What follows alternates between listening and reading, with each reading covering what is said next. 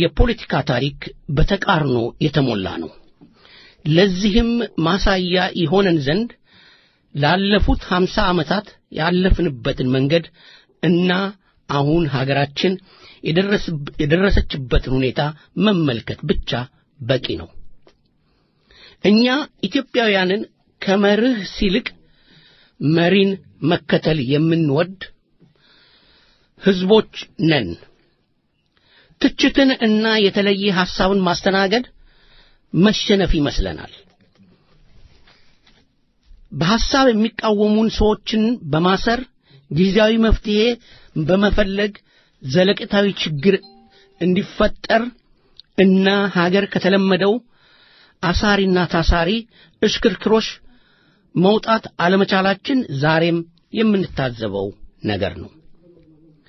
ትናንት ላመኑበት ዓላማ በሰላማዊ መንገድ ይታገሉ የነበሩ ሰዎችን መታሰር ስንቃወም ኖረን ዛሬ ደግሞ እነዚሁ በሰላማዊ መንገድ የሚታገሉ ሰዎች ሲታሰሩ ልክ ነው ብለን የምናምን ከሆነ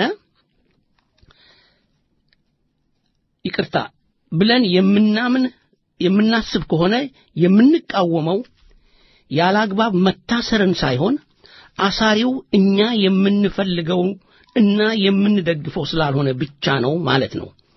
አላግባብ የሚታሰረው የእኛ የምንለው ሰው ከሆነ ይቅርታ፣ አላግባብ የሚያስረው እኛ የምንለው ሰው ከሆነ አላግባብም ቢያስር ግድ የለንም ማለት ነው። የቀድሞው TPLF መራሹ መንግስት ይቅርታ የቀድሞው የ TPLF መራሹ መንግስት የውሸት ክሶችን በመመስረት የፖለቲካ መሪዎችን፣ የሰብአዊ መብት ተሟጓቾችን እንዲሁም ጋዜጠኞችን ሲያስር እና ሲያፍን ለሀያ ሰባት ዓመታት ስልጣን ላይ መቆየት ቢችልም በሰፊው የኢትዮጵያ ሕዝብ ትግል ከስልጣኑ ቢወገድም ዛሬም የተለመደው አሰራን እስራት ማለትም የውሸትና የፖለቲካ እስር ሰለባ ለሆኑ ዜጎች ድምፃችንን ማሰማት ካልቻልን ከምንጠላቸው ከወያኔ ጀሌዎች በምን ተሻለን? መንግስትን መደገፍ ማለት እኮ ከመንግስት ጋር መቶ በመቶ መስማማት ማለት አይደለም። ስለዚህ መንግስት ሲያጠፋ እንዲታረም እና እንዲያስተካክል መጠቆም ካልቻልን ችግሩን የምናገዝፈው መሆኑን ተገንዝበን ሁልጊዜ የመርህ ሰዎች መሆንን በመሆን ኢፍትሐዊነትን መታገል ይገባናል።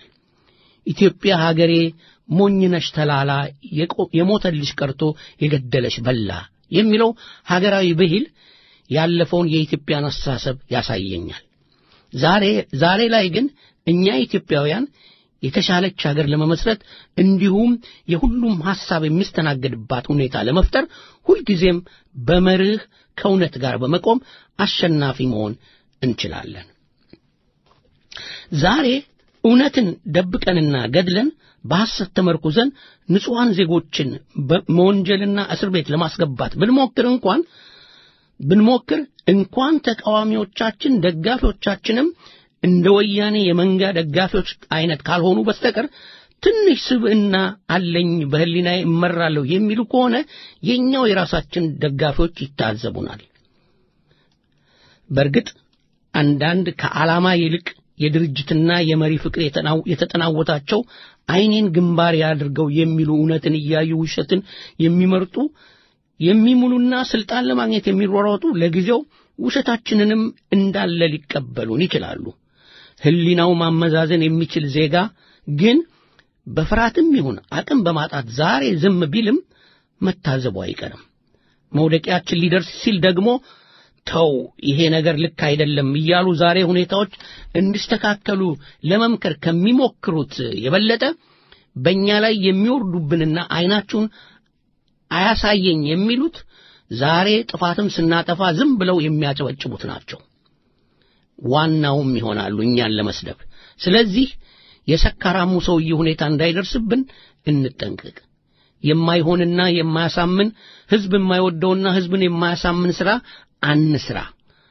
ሰውየው ባለቤቱ ምግብ ሰርታ ማታ ቤት ቁጭ ብላ እራት አብራው ልትበላ ስትጠብቀው በጊዜ ሳይመጣ ይቀርና ውድ ባለቤቱ አዝናና ተበሳይታ ምግቡን አነሳስታ መኝታ ቤት ገብታ ትተኛለች። ሊነጋጋ ሲል ሰውየው ጥምዝ ብሎ ሰክሮ ይመጣና ሳሎን ቤት ገብቶ ሲንገዳገድ ጣውላው ላይ እንዘፍ ብሎ ይወድቃል። መኝታ ቤት ሆና ይህን የሰማችው ሚስት ከእንቅልፏ ነቅታ ምንድን ነው ብላ ስትጠይቅ ሰካራም ስካር ያንኮላተፈው ባል ሸሚዜ ወድቆ ነው አላት። ይህንን የሰማች ሚስት በትዝብትና በንቀት የማይመስል ነገር ለሚስትህ አትንገር አለችው ይባላል። እስቲ ይታያችሁ ሸሚዝ ወድቆ ጓ ብሎ የተኛን ሰው ሲቀሰቅስ። ታዲያ የባልደራስ መሪ አቶ እስክንድር ነጋ ላይ በአቃቤ ሕጓ በወይዘሮ አዳነች አበቤ የቀረበው የአዲስ አበባን ወጣቶች አደራጅተው ገንዘብና የስለት መሳሪያዎች በማስታጠቅ ሕዝብ ለሕዝብ ለማጫረስ ከመሞከር አልፎ 50 ሚሊዮን ብር የሕዝብ ንብረት እንዲወድም አድርጓል የሚለው ክስ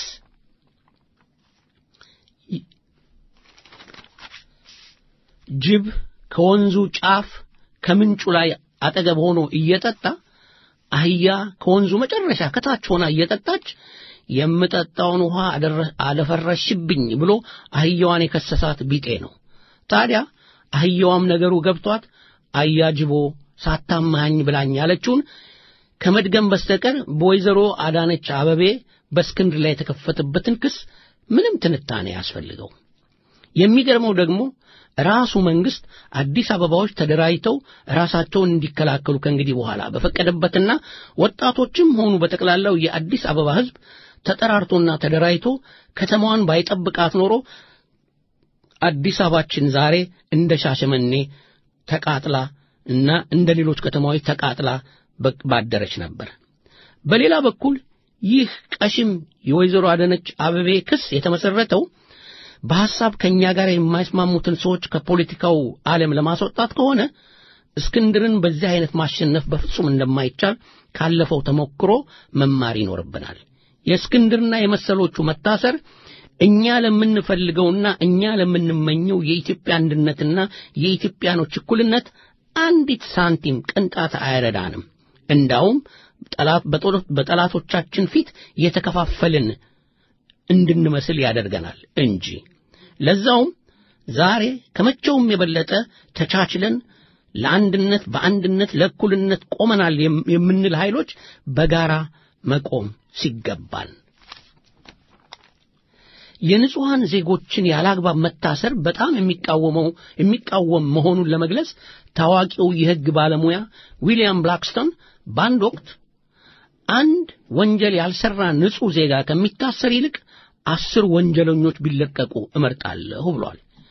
እኛ ደግሞ በገሃድ በአደባባይ ሕዝብ ከሕዝብ እንዲተላለቅ ሲሰብኩና ሲያሰብኩ አልፎ ተርፎ ቀና ካለ አንገቱን በቆንጨራና በገጀራ ነው የምንለው። የእኛን ትግል ወደ ኋላ የጎተቱብን ከሌላው ዘር ጋር የተዳቀሉ ግማሽ ኦሮሞዎች ናቸው። ኦሮሞ ካልሆኑ ዕቃ አትገዛዙ፣ የነፍጠኛውን አከርካሪውን ሰብረነዋል እያሉ በአደባባይና በመሃል ከተማ ጠብና ፍጅት እንዲካሄድ የሚነዙ ሽብርተኞችን በተገቢው ለሕግ ማቅረቡን እየደገፍን፣ በሌላ በኩል ግን በሬ ወለደ የሚመስል ክስ እያቀረቡ ንጹሐንን ለመወንጀል መሞከር መቆም አለበት እንላለን። ይህን ማቆምና ማስቆም ደግሞ የአንድነት ኃይል ነኝ ለሚለው ጎራ የኃይል መፈረካከስን ቀንሶና አጥፍቶ ጉልበትና ኃይልን ያዳብራል። ለዚህ ደግሞ በውስጡ ተሰግስገው ወደ ጥፋት የሚወስደውን መንገድ እያመለከቱ ያሉትን ዘረኝነት የተናወጣቸው የቅርብ አማካሪዎች፣ ከፍተኛ ባለስልጣናትና ትናንሽ አጨብጫቢዎች፣ ጉዳይ አስፈጻሚዎች ዶክተር አብይና የሀገሪቱ አመራሮች በድፍረትና በአስቸኳይ ማስወገድ አለባቸው እንላለን።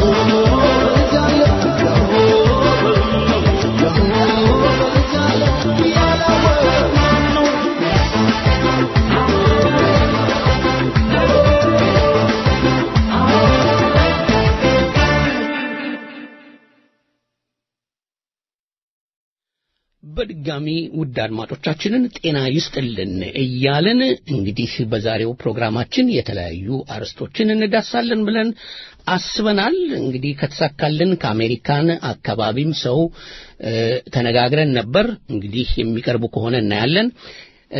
ከአምስት ሰዓት በኋላ አንድ interview አጠር ያለ interview ይኖረናል። ይህም interview እዚህ ስቶክሆልም ውስጥ ትናንት ቆንጆ የሆነ የኢትዮጵያኖችን አንድነት የሚያሳይ ታላቅ ሰላማዊ ሰልፍ ተካሂዶ ነበረ።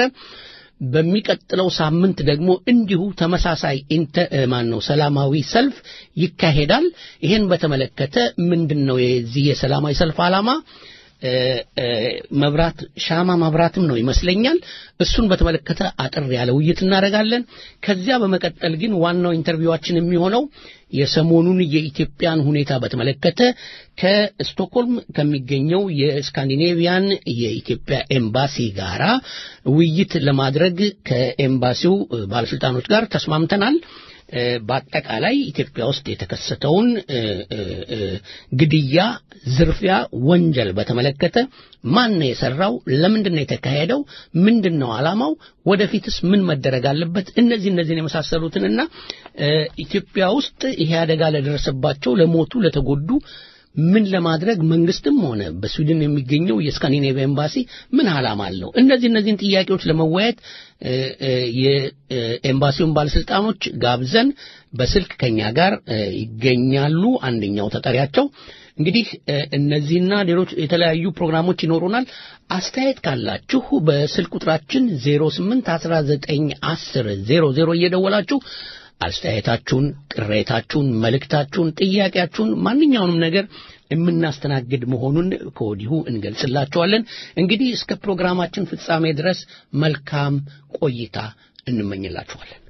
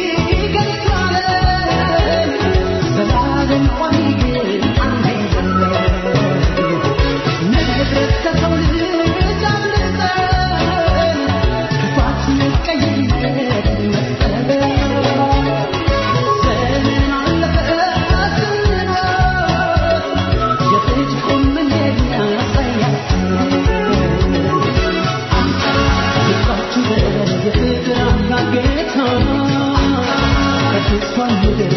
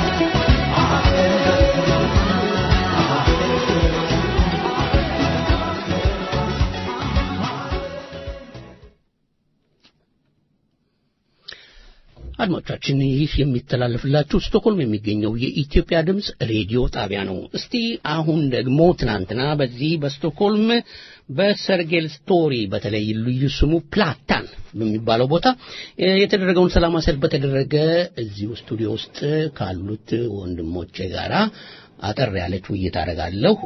እስክንድር የትናንትናውን ሰላማዊ ሰልፍ በተመለከተ ምን ትላለህ? እንግዲህ እንግዲህ በኢሮፕና በሰሜን አሜሪካ ታላላቅ ሰልፎች እየተካሄዱ ነው በዳያስፖራው። ትናንት የተካሄደው ይህም የዛ አንዱ አካል ነው። ስቶክሆልም የተካሄደው ኢትዮጵያውያኖች በአጫሉም የመገደል በሌሎችም ብዙ ኢትዮጵያውያኖች በዛ ምክንያት ተገድለዋል። እነዛንም በማሰብና የዜጎች ግድያ እንዲቆም መልእክት ለማስተላለፍ ተደርጎ ነበር። እንግዲህ በዚህ በተደረገው ሰላማዊ ሰልፍ ላይ ብዙ ኢትዮጵያውያኖች ተገኝተዋል። ነገር ግን በነበረው የኮሮና በሽታ ወረርሽኝ ምክንያት የተወሰነ ሰዎች ነው እንዲገኙ የተደረገው። አስቀድሞም እቅድ የወጣውና በዚህ በፍቃድ ከመንግስት ተገኝቶ የተደረገ ሰላማዊ ሰልፍ ነው። ነገር ግን አንዳንድ ጥቂት ጣት የሚቆጠሩ ሰዎች በሰላማዊ ሰልፍ ላይ ረብሻ ለማንሳት ሞክረዋል። ይህ በዚህ በስቶክሆልም ብቻ ሳይሆን በለንደን ላይም አንዳንድ ቦታዎች ላይም እንደዚህ ነገሮች ይከሰታሉ። ነገር ግን ሌሎችም በሰላማዊ መንገድ ራሳቸው ፍቃድ አውጥተው ጥቂትም ቢሆኑ መልእክታቸውን በሰላማዊ መንገድ ማስተላለፍ የሚችሉበት ሰዎች መብት በሰላማዊ መንገድ ሀሳብን መግለጥ የሚቻልበት በሰለጠነ ሀገር ላይ ኖሮ ሌሎች ባዘጋጁት ውስጥ ገብቶ እንትን እንደገመት የምትለው እንዳለ ሆኖ ይሄ አንዳንድ ጊዜ ምን ይባላል መሰለ ለማይገባው መጥፎ አባባል ሊመስል ይችላል። ግን አይኔን ግንባር ያደርገው ያለን ሰው ማለት እውነትን እያየ ማስረጃ ሲቀርብለት የማይቀበል ሰው የፈለገውን ልመና ብታደርግለት የፈለገውን የዲሞክራቲክ እንትን ህግ ብትነግረው የፈለገውን እንትን ሊበጠብጥ የመጣ ሰው መበጥበጡን አያቆምም። ለመሰለ ይሄን ያልኩ አሁን የሚደርሱኝ information ኖች እንደሚሉት አሜሪካን ውስጥ በ terror ማድረግ በኢትዮጵያኖች ላይ በ terror አይነት ስራ ማካሄድ ጀምረዋል። ሁለት ኢትዮጵያኖች በጥይት ተተኩሶባቸዋል ከኦኤልኤፍ ደጋፊዎች። እንግሊዝ ሀገር አሜሪካን ውስጥ ኦኤልኤፍ የሚል ቲሸርት ያደረገ እየተፈለገ ነው። ተኩሶ እንትን አደጋ ሊያደርስ ሲል ደብድቦ። እንግሊዝ ሀገር አሁን የደረሰኝ ደግሞ አሁን በቅርብ የደረሰኝ አሁን አሁን ላይ የደረሰኝ እንግሊዝ ሀገር ሰው እያሳደዱ ነው። ካናዳ ካልጋሪ ውስጥም እንደዚሁ አይነት ካልጋሪ ውስጥም እንደዚሁ። እና ይሄ ነገር ከእኛ ከለመድነው ኢትዮጵያኖች ከለመድነው ወጥቶ ሆይ ሰላማዊ ሰልፍ ይውደ- ይውደም እ፣ ይሄን እቃወማለሁ ይሄን እደግፋለሁ ከምንለው አልፎ ወደ ግድያ ድብደባ ወደዛ ውስጥ እየሄደ ነው።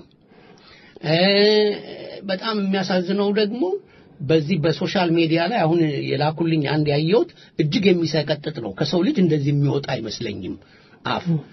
ሙስሊም የሆንክ በሙሉ ከደቡብ እስከ ሰሜን ተደራጅተህ እረደው።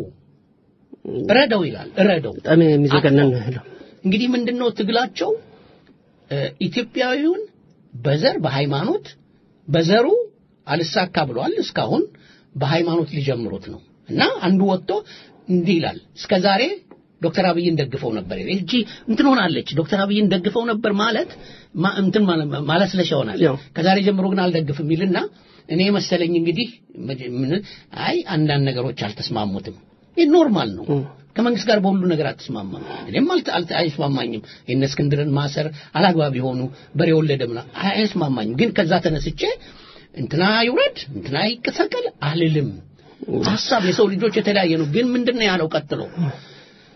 ሙስሊም በደቡብ በሰሜን በምን ያለህ ከኦሮሚያ ያለ ሙስሊም ጎንደር ያለው ሙስሊም ጎጃም ያለው ሙስሊም አንድ ላይ ሆነህ እረደው ጠቅላላ በሙሉ ይሄንን ካፊር ነው መሰለኝ የሚለው አፉን አውጥቶ እንደዚህ ይናገራል እና እንዲህ አይነት ደረጃ ውስጥ ደርሰናል አደጋው እያመረረን የመጣው ምንድን ነው የሚደረገው እዚህ ስቶክሆልም ውስጥ አንዱን ሚስኪን ኢትዮጵያዊ አረንጓዴ ቢጫ ቀይ ለብሶ ብቻውን ቢያገኙትና ቢገሉት አደጋ ቢያደርሱ ምንድን ነው የሚደረገው?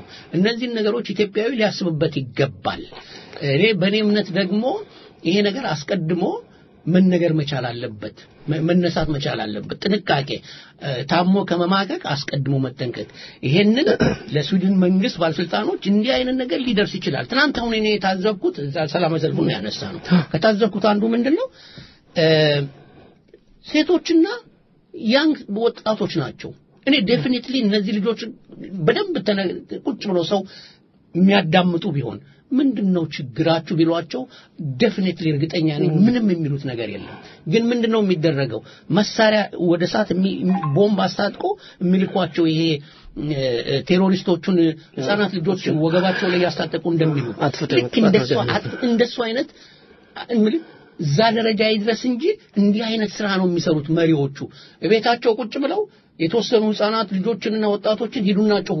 አሁን በእኔ እምነት በእኔ እምነት ኢትዮጵያዊው መብቱ ነው። እነሱም ዓርብ ዕለት ተሰልፈዋል እኔ ኢትዮጵያዊ ሄዶ እንደዛ የሚረብሽ አይመስለኝም እኔም ያልኩት ይህንን ነው እኮ እነሱ አይመስለኝም። በሰላማዊ መንገድ በሰለጠነ ሀገር ላይ ስትኖር ወደዛ አይመጡም።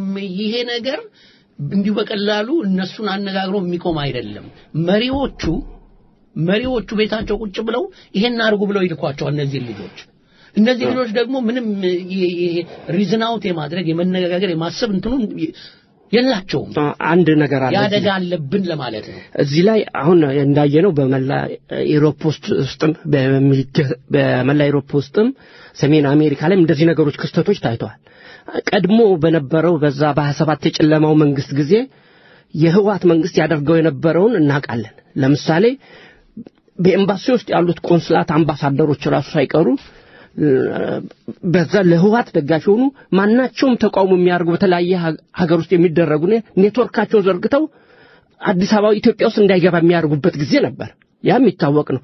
አሁንም ይሄ ነገር እየሰፋ ሳይሄድ የኢትዮጵያ ኤምባሲዎች ቆንስላ ያሉባቸው ሰዎች እነዚህ የሽብር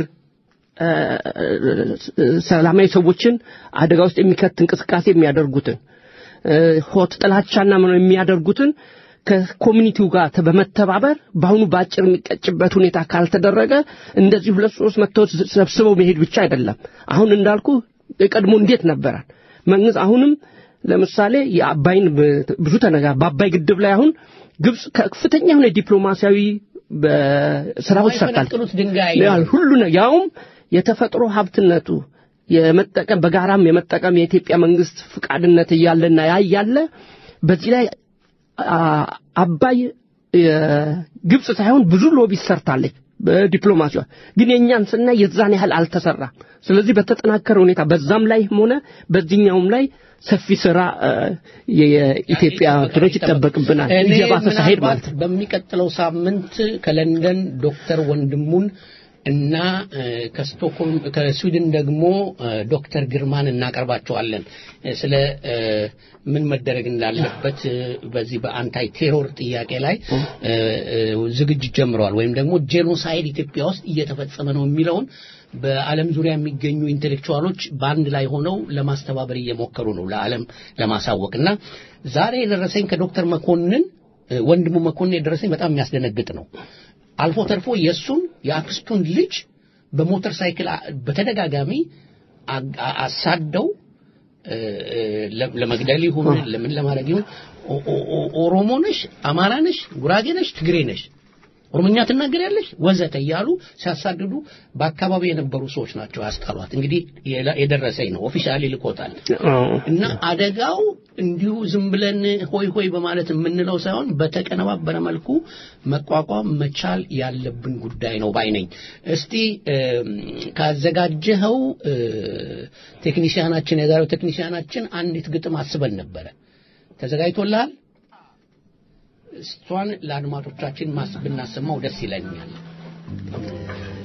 ይድረስ ለኛ ለእኔ እናንተ። እኛ ለእኛ ነው መሰለኝ። ዘመን በትውልድ ክር በአንድ ስቦ ላቋጠረን። የዚህ ሰፈር ኤሊቶች የዚያ ሰፈር ኤሊቶች እየተባባልን በህዝብ ስም እየማልን በወገን ስም እየማልን ይድረስ ለኛ ለእኔ እናንተ። ዘመን በትውልድ ክር በአንድ ስቦ ላቋጠረን። የዚህ ሰፈር ኤሊቶች የዚያ ሰፈር ኤሊቶች እየተባባልን በህዝብ ስም እየማልን በወገን ስም እየማልን ሀገር አቃጥለን ለምንሞቅ በእናቶች ሐዘን ሰቆቃ በአባቶች እንባ ለምንስቅ ይድረስ ለኛ ለእኔ እናንተ። ለነቃ ነው ለበቃ ነው። ክፉ ዘመን ክፉ ስርዓት በጥፋት ላስተሳሰረን በጥላቻ የተዘራ በቂም በቀል የበቀለ ሴራና ሸፍጥ ለወረረን ክህደት፣ ቅጥፈት፣ መሰሪነት የህሊና አይናችንን ልባችንን ለሰወረን ከሰውነት ተራ ወርደን ከፈጣሪ ተካግደን ሀገር ሽቅብ የምትረጨውን ባና ደም ለማይገደን ይድረስ ለኛ ለእኔ እናንተ። አክቲቪስት በሚል ማዕረግ ዘመናዊ ካባ ተጠቅልለን ከሀገር በላይ ከሰው በላይ ከህግ በላይ ተቆልለን ሰዎችን ከኑሮ ነቅለን ፍትህ ጫማችን ስር ጥለን በሀገር ላይ ፍቅር መግደል፣ ተስፋ መግደል፣ ደስታ መግደል፣ ሰላም መግደል እንደ ዋጥር ለቀለለን ይድረስ ለኛ እናንተ ድንቁርና፣ እብሪት፣ ትዕቢት፣ ተንኮል፣ ክፋት ላስታጠቀን ነገ ታሪክ በእውነት ችሎት በደም ቃል ለሚጠይቀን ወንድምዬ ምን መልሳለን? ለመሆኑ አንተ ማን? እኔ ማን? እኛ ማን? ያ የታሪክ አባት ሄሮድተስ ገና በአምስት መቶ ዓመት ቅድመ ልደተ ክርስቶስ ከምስር ምድር ደቡብ ወሰን እስከ ህንድ ውቅያኖስ ድረስ አረንጓዴ ደን ተጎናጽፎ በተዘረጋ መልክዓ ምድር በተፈጥሮ ጸጋ በከበረች ኢትዮጵያ በምትሰኝ ሀገር በአንድ ሰማይ ስር ተጠልለው ቆላ ከደጋ የሚኖሩ ቁመታቸው ዘለግ ያለ ጥቁር፣ ጠይም፣ ደፋር፣ ኩሩ እድሜ ጠገብ የሰው ዘሮች ኢትዮጵያውያን ይገኛሉ ሲል ሄሮድተስ ጥንት ገና ቀድሞ ከጠቀሳቸው። በታሪክ ድርሳን አትሞ ነቃሽ ካቆመላቸው ከአያት ቅድመ አያቶቻችን ተመዘን እዚህ የደረስን። ከአጥንታቸው አጥንት ገምሰን ከስጋቸው ስጋ ቆርሰን ከደማቸው ደም ተቀድተን ከአፈራቸው በአፈራቸው ተዘርተን በቅለን የጸደቅን። እውን እኛ የዛሬዎቹ ከትናንት አባቶቻችን በአካል በመንፈስ የተከፈል ሀገር ያለን ታሪክ ያለን እምነት ያለን እስቴት ያለን። እውን የነዛ ዋርካዎች ኢትዮጵያዊ ዘርፍሬ ከዘመንና ከፈጣሪ ባፈነገጠ ምግባራችን በጥላቻና በቂም በቀል በተመረዘ መንፈሳችን ከአፍ ቋንቋ በላይ በሆነው ቃል በማይገልጸው ጭካኔያችን እብሪት በደፈነው ልባችን ደም በተነከረው እጃችን ከዕለት ተዕለት ቁልቁል አድገን የነዛ ዋርካዎች ክፋይ አነስን እኮ ችፍርግ አከል ቀለልን እኮ ገለባውን። ምን አገኘህ? ምን አገኘኝ? ወንድምዬ ምን አገኘን? ዓለም እኮ አፈረብን ሀገር እኮ አዘነብን። ፈጣሪ እኮ አነባብን። እባክን ወንድምዬ በቃ እባክን ይብቃን። ከኢትዮጵያዊነቱ እንኳን ብንወድቅ እባክን ሰው እንሁን። እንዴት በዚህ ዘመንና ዓለም እይታችን መንደር ይቅር? እንዴት በዚህ በዚህች ሰፊ ሀገር በጥበት ጭንቀት እንኑር። እንዴት በክምር ጥላቻ አይናችን በዘር ይጋረድ? እንዴት ከሰብአዊነት ተራራ ወደ አራዊት ጎሬ እንውረድ? እንዴት ወንድም ለወንድም በካራ እንተራረድ? ምን ነው ወንድምዬ ምን ነው አገዳደልም እኮ ቅጣለሁ አሟሟትም እኮ ወግ አለው። እኔ እናንተ እኮ ማለት ቅዱሳን መጽሐፍት በበጎ ስሟን ደጋግመው የሚያነሷት ታላቁ ነቢይ በሙሉ እምነት ፍትህ ወደ ሰፈነባት ወደ አቢሲኒያ ሂዱ ብለው የሰው አደራ የላኩባት እንኳን አምሳያ ወገንን እንግዳን በፍቅር አክብረን ተቀብለን ዘመድ አርገን እንኳን ሰው ወፍ አለምዳለው የሚል ክቡር ብሂል ያለን የንጉሥ አርማ የነጃሺ ምድር ወራሽ ደም ቅጂዎች እኮ ነን። ታዲያን ዛሬ ምን አገኘን? ምን አስነኩ? ምን አስነኩኝ? ወንድምዬ ምን አስነኩን? ገና ከሰው ዘር ቀድሞ መገኛ ከአፋር አፈራችን ጀምሮ ከጊዮን ከአዋሽ ሸበሌ ከኦሞ ተከዜ ባሮ በዘመንና በትውልድ በታሪክና ተፈጥሮ ደምህ ከደሜ ቀልሞ እጣህ ከጣዬ ተቋጥሮ ከኦጋዴን ረባዳ እስከ ራስ ደጀን የምድር አናት ከሶፎሞር ሐረር ጥያ እስከ ጣና ሐይቅ ገዳማት አንድም ባህል እየተዋዋስ አንድም ልማድ እየተጋራን በታሪክና በትውልድ በዘመንና በስርዓት ስንፋቀር፣ ስንናቆር፣ ስንጋፋ፣ ስንጓተት፣ ስንጋባ፣ ስንዋለድ፣ ስንዋጋ፣ ስንሳደድ በአንድ ሐዘን ስናነባ፣ በአንድ ደስታ አብረን ስንስቅ፣ አብረን ስንጠብ፣ ስንሰፋ፣ አብረን ስንነሳ፣ ስንወድቅ ዘመን አልፈን ዘመን ጥሰን ዛሬ ላይ የደረስን እኔ እናንተ እኮ ወንድምዬ አብረን የኖርን አብረን ያለን በኢትዮጵያ እኮ አንድ ነን። ታዲያን ዛሬ ምን ለወጠን? ምን ነው ይሄን ያህል ሀቅ እውነት በዘመን ቁልቁለት አዳጥን? ምን ነው እንዲህ ተስፋ አልቦ ሕይወት በጨለማ ዘግቱ ዋጠን? እውን መማር ፊደል መቁጠር እንዲህ አስከፊ ነው መልኩ? እውን ለእኩልነት ለፍትህ መቆም እስከዚህ ድረስ ነው ልኩ? እውን እንደሚባለው ፖለቲካ ይሉት ተግባር እስከዚህ ድረስ ቁሻሻ ነው? በስንት ንጹሐን ነፍስ ነው ወንድምዬ የምሳችን የሚደርሰው? ስንት ሊትር፣ ስንት በርሜል፣ ስንት ጋሎን ንጹህ ደም ነው እድፋችንን የሚያጠራው? ባክን ወንድምዬ ይብቃን። በዛሬ ክፉ ስራችን የትናንት አባቶቻችን በልጆቻቸው አይዘኑብን፣ የነገ ልጆቻችን በአባቶቻቸው አይፈሩብን። እባክን ወንድምዬ ባክህ ተስፋችን አይርገብ፣ ባክህ ቀናችን አይጨልም። ሰላማችን ነው ደስታችን፣ ሀገራችን ናት የኛ ዓለም። ሀገር ሰላም ነው እኮ የሚባል ጥይት ስላልጮህ አይደለም። መተንፈሱ መንከላወሱ ብቻ እኮ በሕይወት አለን አያሰኝም። እውነት እውነት እላለሁ በስጋት የመኖር ያህልን ሰላም እጦት ፍርሃትን ያህል ሞት የለም። እባክን ወንድምዬ እባክን ይብቃን፣ በቃ በጫርነው እሳት ነደን አልቀን የትውልድ አሳዛኝ ተረት አመድ ሳንሆን እንንቃ።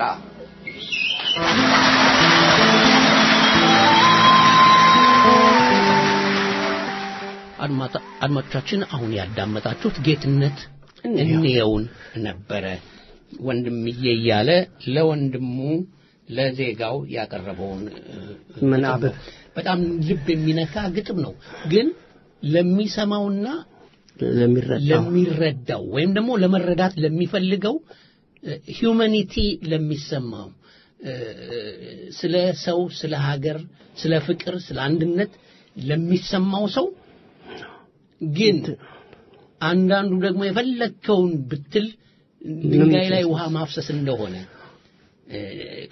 ለሚሰማው ምንም ስሜት አይሰጠውም። የሰው ልጅ ግን ስሜቱ ህያው የሆነ ለሰው- የሚያዝን ለራሱም የሚያዝን ለሰውም የሚያዝን ከሆነ ይህንን ሰምቶ ዝም የሚል ሰው ያለ አይመስለኝም። ለማንኛውም የትናንትናውን ሰላማዊ ሰልፍ በተመለከተ እንግዲህ ያየነው የተወሰኑ በቁጥር ጥቂት የሆኑ ወጣቶች አስር የማይሞሉ ነው በቁጥር አስር አስራ አምስት ወጣቶች በጣም ወጣቶች ህጻናት ሴቶች በተለይ ይሄ በብዛት ደግሞ እንትን ያደረጉ ናቸው የጠመጠሙ ናቸው እና አይዶን ነው እኔ ሁኔታው እያስፈራኝ መጥቷል ይሄ ትግል የራሱ የኦኤልኤፍ የጀመረው ትግል እንትን ብሎ ተጠልፎ የ ወደ ሃይማኖት ወስዷል። አንድ document ሳይ ነበረ። ያን document በጣም የሚያስፈራ ነው። ለማንኛውም ጥንቃቄ ያስፈልገዋል ባይ ነኝ። በአውሮፓም በአሜሪካም ኢትዮጵያ ብቻ አይደለም። ሌላው ለኢትዮጵያ ውስጥ እንደሚደረገው እዚህ ህግ በመጣስ በጉልበተኝነት ማን አለብኝነት አድርጎ የትም አይ- አይኬድም። አንደኛ ማንም ሰው የሚኖረው በሀገሪቱ ህግና ደንብ ስርዓት መሰረት ነው።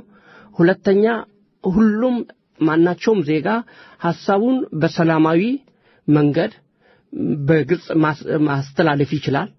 ምክንያቱም ይሄ ሁሉ የተጠበቀ ሆኖ ከዚህ ውጭ እንደ ኢትዮጵያ ውስጥ ገድለህ አርደህ ትጠፋለህ። በዛ ላይም በተለያዩ ከዛ ጋር link ባላቸው ግንኙነት ባላቸው የመንግስት አካላቶች እና አሁን የአሁኑን ራሱ እልቂት ብናየው አብዛኛው በአይሱዙ ተጭነው ነው የመጡት።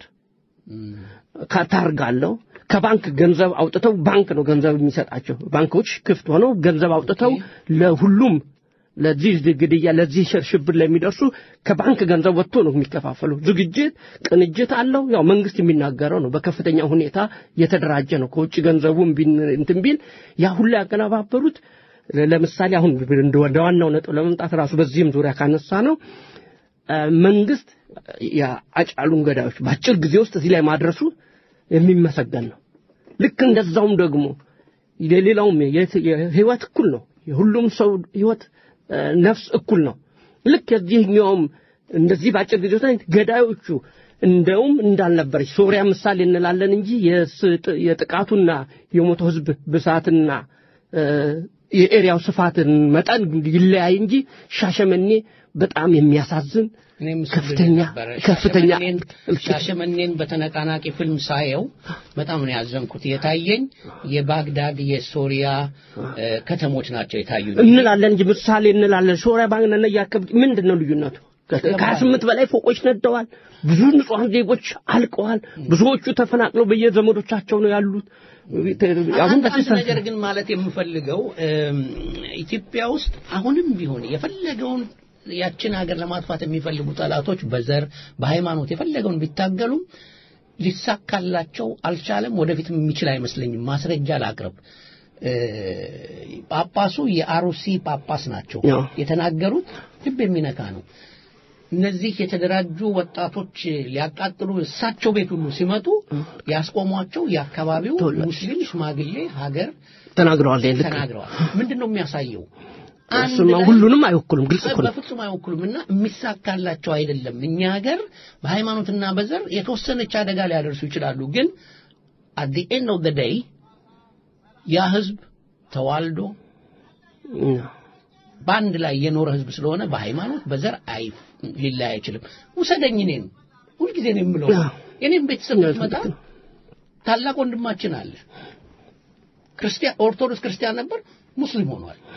ታላቅ እህቴ ደግሞ አለች፣ የኔ ታላቅ እሷ ኦርቶዶክስ ክርስቲያን ነች። ያውም ደግሞ አርባ አራቱን ምንድን ነው እየዞረች የምትሳለም ነች። አዎ። serious አዲስ አበባ ውስጥ እና እኔ የእናቴ አባቴ ልጆች ናቸው። በምን እነዚህን ልትለያቸው ይችላል? በምን ይለያያሉ?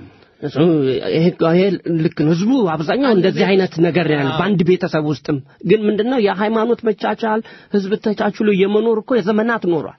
ይሄ እኮ ካለፉት 27 ዓመታት በመታወቂያ ላይ የብሔር ጥያቄ- የተደረገበት strategic ነጥሎ ለመምቻ እንደገና ደግሞ አሁንም ቢሆን ከፍተኛው ችግሩ ህገ አራዊት ነው የሚባለው ህገ አራዊት ምክንያቱም ያ ህዋት ሲቀርጸው ከፋፍለህ በክልል በጎሳ በዘር ከፋፍለህ ለመግዛት ነው። እኔ እንደውም እዚህ ላይ ስጋቴ ህገ መንግስቱ ላይ ብቻ ሳይሆን ለምሳሌ ጠቅላይ ሚኒስትራችን እንትን ሄደው ነበር ሩዋንዳ ሀያ አምስተኛ ላይ ሊያከብሩ ሄደው ነበር። አዎ ከባለቤት ሄደው ነበር። እዛ ላይ አሳልፈው ነበር። ከሩዋንዳ ኃላፊ ከሩዋንዳ ባለስልጣን ጋር ተነጋግረው ይህ ነገር ለሌላም ሀገር ስጋት እንደሆነ ምክንያቱም ይህ ይህ ህገ መንግስት የተቀረጸው በክልል ከፋፍለህ በቋንቋ ከፋፍለህ የፖለቲካ ፓርቲዎች አደራጅተህ ህዝብን እልቂት በማድረግ ስልጣን ማራዘሚያ ነው። እና አሁንም ለምሳሌ የአንዳንድ ግለሰብ ትችቶች የሚቀርቡት ህገ መንግስቱ ለምሳሌ እንትንን ያሉት አሸባሪዎች የተባሉት በህገ መንግስት ነው አሸባሪ ተብለው የተከሰሱት የህገ መንግስት ተሽሮ ገብተዋል ከተለያዩ ኦነግ ገብተዋል ግንቦት ሰባት ገብተዋል። ልክ እንደዛው ሁሉ ልክ ያንን እንደተደረገ ሁሉ የብሔር ፖለቲካና የክልል የሚለው ቢነሳ አንደኛ ህዝብ በነጻነት የመ- የመንቀሳቀስ ሀገሬ የማለት መላ ኢትዮጵያ በነጻነት የመንቀሳቀስና ሰላም ይፈጥራል። ህወሓት ይህን የተጠቀመበት ለአገዛዝ ነው። ግን ይሄንን አሁን እኔ ወደ ነጥቤ ለመምጣት አሁንም ቢሆን ስልጣን ላይ የወጡ የአፍሪካ መንግስታት መልቀቅ ስለማይፈልጉ እንደዛው መጠቀሚያ ይህንን ነገር መጠቀሚያ ስለመሆኑ እንጂ የመጀመሪያ ነገር ይሄ ነው። የከፋፍለ ግዛው አካሄድ ነው። አሁንም ለምን ያ ያ ነገር ከተነሳ ህዝብ በነጻነት ይንቀሳቀሳል፣ ህዝብ በሰላም ይኖራል። ሰላም ከሆነ በዲሞክራሲ የሚፈልገውን የመረጠውን ወደ ስልጣን ማምጣት ይችላል። ይህ እንዳይሆን ይሄ መንግስት ህወሓት የሰራው መንግስት ለሌላውም ካፈረስከው ዲሞክራሲ ይመጣል። ያን ህገ መንግስት ካፈረስከው ሀገር መላ ኢትዮጵያ ውስጥ ዜጎች የመንቀሳቀስ መብት ይኖራቸዋል። የመስራት ንብረት የማፍራት መብት ይኖራቸዋል።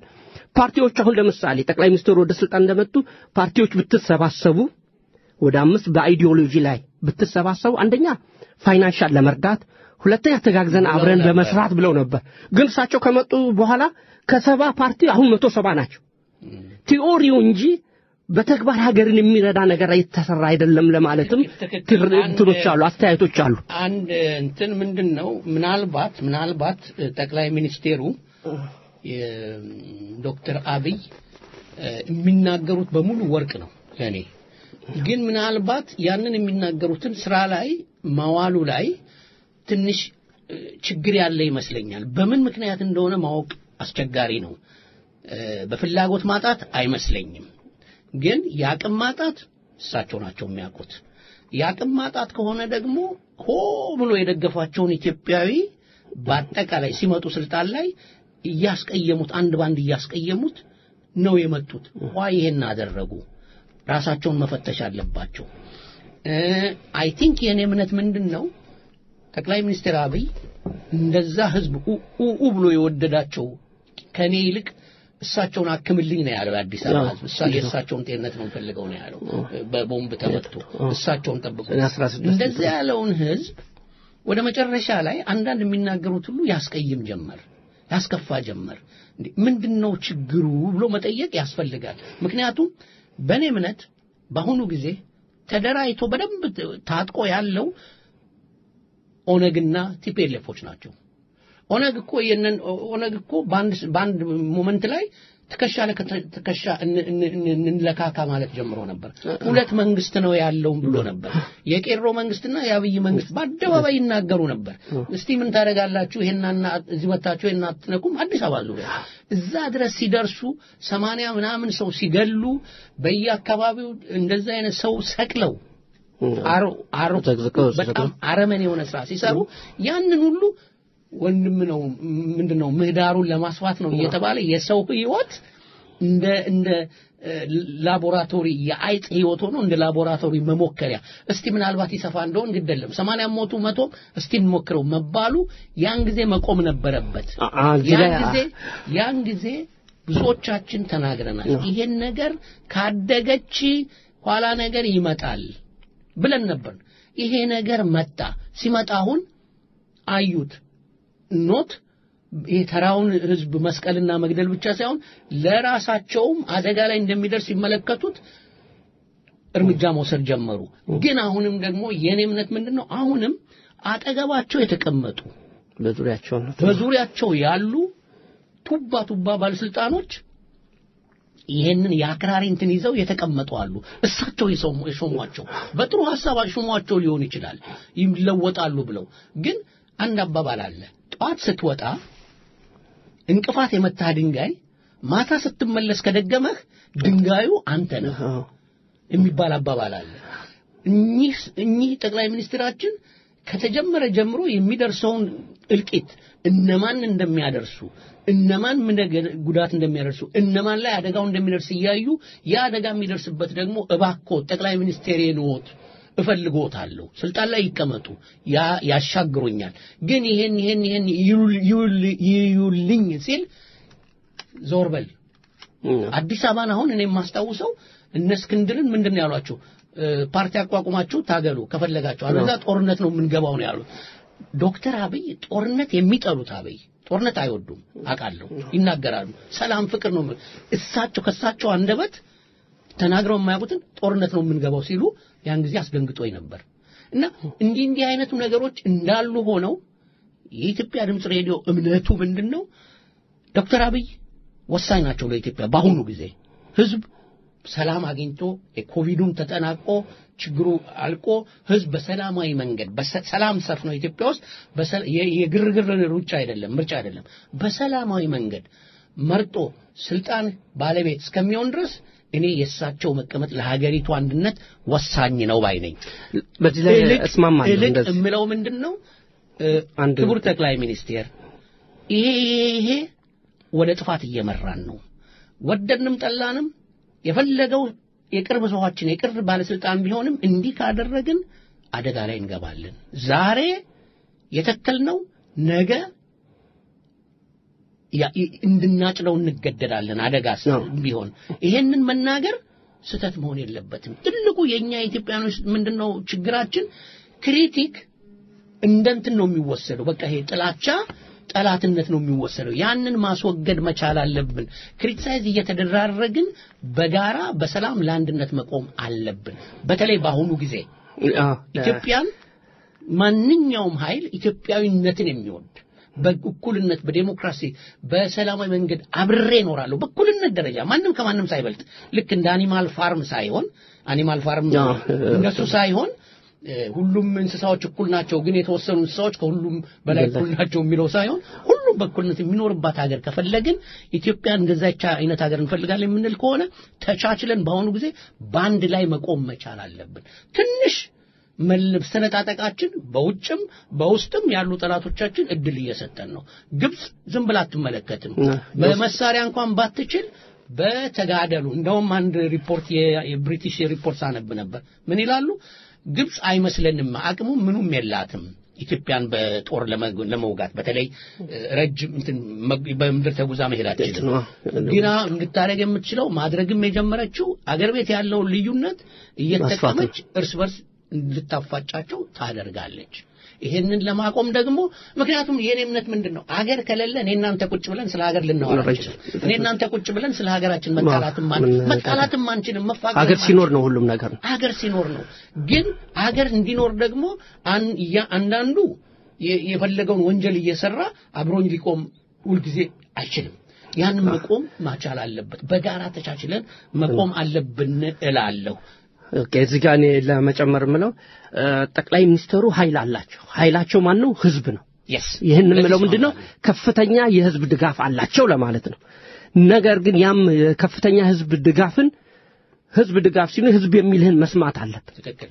ምክንያቱም ጠቅላይ ሚኒስትር በህዝቡን ነው እንጂ የሚመሩት እሳቸው አይደል እሳቸው ህዝቡን አይደለም ህዝቡ የሚላቸውን መከተል አለባቸው ለማለት ነው። መሪ አ- መሪ መሪነታቸውም ለዚህ ነው። መሪነታቸው ለዚህ ነው። መመሪያቸውን የሚስ- ህዝቡ የሚሰጣቸውን መመሪያ ወደ ተግባር ያ ይህን ነጥብ ለምንድን ነው አሁን ለምሳሌ ባለፈው አዲስ አበባ ላይ ከሰማንያ በላይ ወጣቶች ሲገደሉ ህዝብ እባክዎን ሰላማችንን አስከብሩልን ምክንያቱም የመንግስት መኖር የህዝብን ሰላም የሰላም እንቅስቃሴ ሰላማዊ እንቅስቃሴውን በሀገሩ ላይ በሰላም ገብቶ ወጥቶ እንዲኖር ማድረግ ነው ሁለተኛ ይህ ከፍተኛ ያለውን የህዝብ ድጋፍ ህግን በተከተለና ሰላማዊ በሆነ መንገድ የህዝብ ሰላምን ከማስጠበቅም አልፎ ለምሳሌ አሁን በተነሳው የፖለቲካ አጫሉ ግድያ ላይ የተወሰኑት ም፣ በመሳሪያም እቅድም ይዘው ተቀነባብሮ እንደተደረገ ነው። ነገር ግን የታሰሩ የፖለቲካ ሌሎች አባላቶች በይበልጥ የባልደራስን ብንመለከት የአዲስ አበባ ህዝብ ባይደራጅ ኖሮ ቀድሞ ገብተው የነበረው ያለፈው አስተምሯቸው በዚህ ተደራጅተው ናቸው መንግስትን እገዛ ነው ያደረጉት። እንደውም የፖሊስ ኮሚሽነሩ የፖሊስ ኮሚሽነር እንደ ሻውጣ ሰው እንደተናገሩት ቀጥታ ያን ማዳመጥም ይቻላል። የአዲስ አበባ የተደራጁ ወጣቶች ከአካባቢ ሚሊሻና ከፌዴራል ፖሊስ ጋር ሆነው ሊደርስ የነበረውን ጥቃት አድነዋል። ይህ ማለት እነዚህ አዲስ አበባ ውስጥ የተደራጁት በባልዳራስ በእስክንድር ነጋ ባደረገው ተደራጅተው ነው ራሳቸውን ሊጠብቁ ከተማውንም ሊጠብቁ የመንግስትንም ንብረት በጥቂት እልቂት ሊዳን የቻለው። ነገር ግን አሁን ሚዲያዎች እየሰሩትን ብናይ ልክ መንግስት መረጃ አግኝቶ ኦነግ ሸኔና ወያኔ ህወሀት አቀናብሮ እንደሰራውና የተያዙትን መረጃ እያለ ሚዲያዎች ኢትዮ ታይምስ በል አንዳንድ መረጃዎች ኦኤምኤን እነዚህ የሚያቀርቡት መረጃዎች ጆሃር መሐመድ ዋናው የዚህ አቀናባሪ ያለ እያለ ተጨማሪ በቀለ ገርባ እነዚህ ያቀናበሩት እያለ ሌላም ተጨምሮ ልክ ከዛ ውስጥ እንዳለ ይህን እንዳቀናበር ህዝብን ያዳነ ነው። ልክ እንዳደረገ አድርገው ሚዲያዎች ኢትዮ ታይምስ ሁሌ ሲያቀርብ ተመልከተው። የሚያቀርበው በሀጫሉ ግድያ ውስጥ ክሳቸውም የተለየ ነው። ህዝብም የሚጠብቀው አሁን ፍትህና ትክክለኛ የሆነ አካሄድን ነው። መረጃ በያዘ መረጃ ባለው ለምሳሌ በመረጃም ነገር ላይ ስንነጋገር ኢንጂነር ስመኘው በቀለ መሀል አዲስ አበባ ነው የተገደለው። ምንም እስካሁን ድረስ ለቤተሰቦቹ ፍትህ ማለት ነፍስ እኮ እኩል ነው ለሰዎች። አባይ ግድብ ላይ አሻራውን ሌት ተቀን ያሳረፈ ሰውዬ ነው። ለኢትዮጵያ ብዙ ሌት ተቀን የለፋ ሰው ነው። እስካሁን ድረስ ማንገዳዩ ምን ሽጉጥ ተይዟል፣ ምንም ነገር የተገኘንም በስልጣን ላይ ሲመጣና በራስ ስልጣን ላይ ሲመጣና በዘረኝነት ላይ መታየት የለበትም፣ ሰፋ ማለት አለበት ማለት ነው። ለምሳሌ የእንትኖቹንም ይኸው የሌሎቹም የተገደሉ አሉ። ለምሳሌ የቡራዩ አቶ ሰለሞን የተገደለ አስተዳደር ተገሏል። ለቀምት ላይ ገመቺስ፣ የተለያዩ የኦሮሚያ አስተዳደሮች ተገሏል። የነዛስ ህይወት ይሄ በሳምንት ተጣርቷል። ይኸው ዓመት ሙሉ ድረስ ምንም የታወቀ ነገር የለም። እነዚህ ሰዎች የአማራ ክልል የትግል አጋሮቻቸው ጀነራሎች ተድፈንፍኖ ነው ያለቀው። ግን ራስህ ላይ ስልጣን ላይ ወንበር ላይ የሚያነቃንቅ ነገር ሲመጣ አይደለም ፍትህ የሚታየው በሳምንት ፊልም የሚቀረጸው። ኢንጂነር ስመኘው በቀለ ህይወት ከሃጫሉ ህይወትም አይተናነሱም። ለሀገሩም ሰርቷል።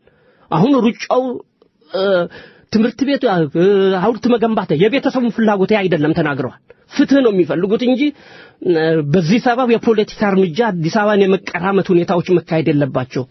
ፍትህ ትክክል ለሁሉም ህዝቦች መገኘት አለበት ለማለት አድማጮቻችን ይህ የምታዳምጡት ስቶክሆልም የሚገኘው የኢትዮጵያ ድምፅ ሬዲዮ ነው። በዚህ ሰዓት ዜና ይቀርብላችሁ ነበር። በዛሬው ፕሮግራማችን ዜና አይቀርብም። ከጥቂት ደቂቃዎች በኋላ ይችን ሙዚቃ እንጋብዛችሁና ከጥቂት ደቂቃዎች በኋላ በሚቀጥለው ሳምንት ስቶክሆልም በድጋሚ ሊደረግ የታሰበውን ሰላማዊ ሰልፍ በተመለከተ አጠር ያለ ውይይት እናደርጋለን። ከዚያም በመቀጠል ከኢትዮጵያ ምክትል ሚስዮን የኤምባሲው ምክትል ኃላፊ ማለት ይመስለኛል ምክትል ሚስዮን መሪ ከሆኑት ከአቶ ተስፋዬ ጋራ ውይይት እናደርጋለን።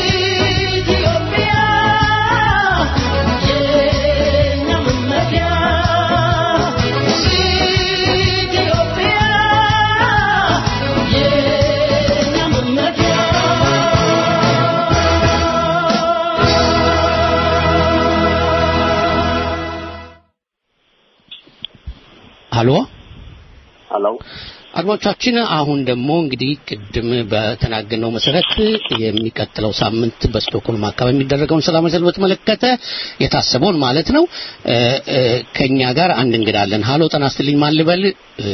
ራስህን ብታስተዋውቅ ወይም ደግሞ ኮሚቴን ወይም ድርጅቱን። OK ስሜ ምሻው ይባላል task force በተቋቋመው አሁን በጠራነው የሻማ ማብራት ላይ task force ከተቋቋሙት አንዱ እኔ ነኝ ያው በግሌ ያው OK OK። ይሄ task force መቼ ነው የተቋቋመው? ለምንድን ነው የተቋቋመው? task force የተቋቋመው ለዚህ ጉዳይ ተብሎ ነው ለየትኛው ጉዳይ? አሁን በአሰብነው ሻማ ማብራት ፕሮግራም ለመሳተፍ የተለያዩ ሰዎች የተቀናጁበት OK ኮሚቴ ነው እ፣ ምሻው እ፣ task force የምትሉት እንግዲህ ግብረ ኃይል ማለት ነው። ብዙ ጊዜ በወያኔ ስልጣን ላይ ባለበት ጊዜ የተለያዩ ግብረ ኃይሎች ይቋቋሙ ነበረ፣ አንዳንድ ጥያቄዎችን ለመመለስ፣ ህዝብ ለማስተባበር ወዘተ። ይሄ ሻማ ማብራት ምንድን ነው አላማው? ለምንድን ነው ሻማ የምታበሩት? ሻማ የምናበራበት ዓላማው መጀመሪያ ሀገራችን ላይ ሁላችንም የምናውቀው የተደረገ አለ። በተለያዩ ክልሎች በኦሮሚያ ክልል የሞቱ የእኛ ቤተሰብ የሆኑ ሰዎች አሉ። እነሱን መንግስት ለእነሱን በማሰብ ነው የምናበራው ሻማ የመጀመሪያ እና ያው በዛው ማስታከል ደግሞ መንግስት አቅም እንዲኖረው እነዚህን የጥፋት ኃይሎች ለፍርድ እንዲያቀርብ የምናስተላልፈው ነገር ይኖራል። በሶስተኛ ደግሞ እንደ ኢትዮጵያ ደግሞ ሀገራችንን አባይን እንዲገደብ የአንድነታችንና መሰረታችን የሆነውን እሱንም የበለጠ በደንብ announce የምናደርግበት አጋጣሚ ነው ማለት ነው። OK OK። በ- በአንድ በሁለት ሳምንት በአንድ ሳምንት ውስጥ ሁለት ነው በሁለት ሳምንት መሆኑ ነው። በሚቀጥለው ሳምንት ካረጋችሁ ሁለት የኢትዮጵያኖች ሰላማዊ ሰልፍ ተደረገ ማለት ነው። ሰላማዊ ሰልፍን በለው ሻማ መብራቱም almost አንድ አላማ ነው ያለው። እንደምሰማው ከሆነ አቶ ምሻሁ እንደነገርከኝ ከሆነ በሚቀጥለው የምታደርጉት ሰላማዊ ሰልፍም የአባይን ግድብ የኢትዮጵያን አንድነት የሕዝቦቿን እ፣ ነጻነትና ሰላማዊ ኑሮ መግፋት፣ እኩልነት እንዲሁም ደግሞ ሻማ ማብራት የሚደረገው የተገደሉትን ለማሰብ ነው እስከ ገባኝ ድረስ። እነዚህ ናቸው ጥያቄዎቻቸውና መንግስት ዶክተር አብይ የሚመሩት መንግስት ተጠናክሮ አገሪቷን ለማፍረስ የሚታገሉ ጸረ ህዝብ ኃይሎችን በጥሞና ወይንም ደግሞ በትክክል እንዲቋቋም ጥያቄ ለማቅረብ ነው። በቃ የኛም እንትን ያ ነው። ሌላው ምንድን ነው እነዚህ አካላቶች አንድ ያልተረዳነው ነገር አለ እኛ ኢትዮጵያውያን እና ሁልጊዜ ልዩነት እናያለን በተለያየ ሰላማዊ ሰልፍ ላይ ባለፈውም እንዳየነው ጀርመን ላይም አሜሪካን ላይም ተደርጓል። ያው እነዚህ አንዳንዴ ያልተገባቸው ሰዎች ሁሉ የታሰሩበት አጋጣሚ አለ። እነዚህን ሰዎች መንግስት በሚጠይቃቸው በሰሩት ወንጀል ሊጠየቁ ይችላሉ። ግን አንዳንዴ ሌሎችን የሚያጣ ሌሎቹን የሚያዛምድና እንደ ማባያ ሊጠቀምባቸው የሚችላቸውን ሰዎች በደንብ ቢመረምር እና እነዚህ ኦሮሚያ ክልልን የማይወክሉ ለምሳሌ ጃዋር እነዚህ ኦሮሚያ ማለት እስክንድር የኦሮሚያ ክልል የተፈጸመውን ግፍና መከራ ያቀነቀነ እንደዚህ እንዲፈጸም ጉልበት የሆነ ሰው አይደለም እና አንዳንዴ በልዩነት ውስጥ መሰባሰብና ሀሳባችንን የሚገልጽ ጉልበት ያለን ሰዎች መሆን አለብን። በሚደረገው ሰላማዊ ሰልፍ ላይ እኔ አብይን ደግፌ ልወጣ እችላለሁ። አብይን ደግፌ ስወጣ ደግሞ አንተ በግል እስክንድር ይፈታ ስትል አብይን እየኮነንከው ወይንም እያሳነስከው አይደለም። አንድነታችን ውስጥ ሆነን እነዚህን የጥፋት ኃይሎች ለዶክተር አብይ ጉልበት እንሆነዋለን እንጂ አናሳጣውም ወይንም አናሳንሰውም። ብዙ ጊዜ የምሰማቸው ነገሮች አሉ። አንተም ሰምተው ይሆናል በተለያዩ social media ላይ የእስክንድርን ነገር አታንሱ ምናምን አለ። በጣም የሚያሳፍር ነገር ነው። እስክንድርን በዛ ደረጃ ማየት በራሱ ስህተት ነው ነው የምለው እኔ እኔ የምንም ፖለቲካ ደጋፊ አይደለሁም ታውቃለህ። ይሄ ምንም እኔ አሁን እንደ ኢትዮጵያዊ ነኝ፣ አክቲቪስት ነኝ በ social media ላይ። በተረፈ ግን አሁን እስክንድርን በዛ ደረጃ ማየት በራሱ ስህተት ነው ብዬ ነው የማስበው እንደ ግለሰብ። ለምን ብትለኝ እነዛ የሰሩት ወንጀልን እዚህ ጋር ማጣፋት በራሱ ስርዓቱ ወይንም አገር የሚመራው መንግስት የተሳሳተ ይመስለኛል። ያንን ስህተት እንዲያይም የምናደርግበት አጋጣሚ ነው። ሌሎቹንም ደግሞ እነዚህ እሱ ዶክተር አብይ እዚያ በስልጣን ላይ በአመራር ላይ ያስቀመጣቸው ሰዎች እነዚህ ንጹሐን ህዝቦች ሬሳቸው በሞተር ሲጎተት ታርደው ሲሰቀሉ የነበሩ በአመራር ደረጃ ላይ ያሉ በኦሮሚያ ክልል እነሱን እንዲፈትሽ ነው፣ ራሱን እንዲመረምር ነው እኛ አቅም የምንሆነው እንጂ ይህንን የከረረና ደም ባህል ጨፍረን ማሳለፍ ስህተት ነው ነው የምለው። ልትጨፍርበት የምትችልበት አጋጣሚ አይደለም። የተደረገው ነገር ያሳዝናል። ያንን የሚያሳዝን ስሜት ግን የምን ጉልበት የምንሆነው ለዶክተር አብይ እነዚህ ሰዎች መርምሮ ጀርባህን አብረው ያሉት እነማን ናቸው? እነዚህ ሰዎች ለይ ብለን የምናሰማው ድምፅ ነው እንጂ በፍጹም ኢትዮጵያዊነትን የሚያሳንስ ነገር አይደለም። እነዛ ሰዎች አሳነሱ ማለት እኛ አሳነስ ማለት በዛ ደረጃ ሊታይ አይገባም። የእኛን ሀሳብ ሁሉም ሰው ሊደግፈው ይገባል። አሁን ዛሬ ላይ የወጡ ወይ ትናንትና ላይ ሰልፍ የወጡ ሰዎች የእኛን ሀሳብ መደገፍ አለባቸው ብዬ አምናለሁ፣ እንደ ሰው ማለት ነው። እና ይህንን ነገር ነው እኛ ይዘን የተነሳ በጣም ጥሩ። እንግዲህ ባጭሩ እምሻው እንደምትለው የገባኝን ከተሳሳትኩ አርመኝ የገባኝ ዶክተር አብይን ምክር መስጠት እንደ ህዝብ ምክር መስጠት ተሳስቷል የሚለውን እንዲያርም ምክር መስጠት ዶክተር አብይን መቃወም አይደለም። ስለዚህ ኃይላችን እንዳይበታተን በስተት መስሎ የሚታየንን እንደ ምክር ማቅረብ አለብን ነው የምትለው እንጂ ዶክተር አብይን መቃወም አይደለም እንደገባኝ። በጣም ጥሩ እንግዲህ ቀኑ መቼ ነው? በስንት ሰዓት ነው? እነዚህን ነገሮች እንግዲህ ያው ለፖሊስ አስገብተናል። መልስ እየጠበቅን ነው። ቢሆን ያው ቅዳሜና እሑድ ቢሆን ደስ ይለናል። ካልሆነ ደግሞ ያው እነሱ የሚሰጡንን ነው። ታዲያ ሰው እንዴት ያውቃል? አይ እናሳውቃለን በምንድን ነው የምታሳውቁት? እየጠበቅን ነው። መልስ አልመጣም። ህዝቡን በምንድን ነው የምታሳውቁት? እናንተ ስታውቁ ህዝቡን group አለን። ሁለተኛ ደግሞ ያው እንዲሁ ስለምንኖር በተለያየ ቫይበር ላይ flyer ም በፌስቡክም announce እናደርጋለን በደንብ ተዘጋጅተንበታል። almost እየሰራን ያለ ነው ማስታወቂያውን ስራ። በጣም ጥሩ። መልካም እድል እንመኛለን። እሺ አመሰግናለሁ። መልካም እግዚአብሔር ያክብረልኝ አሜን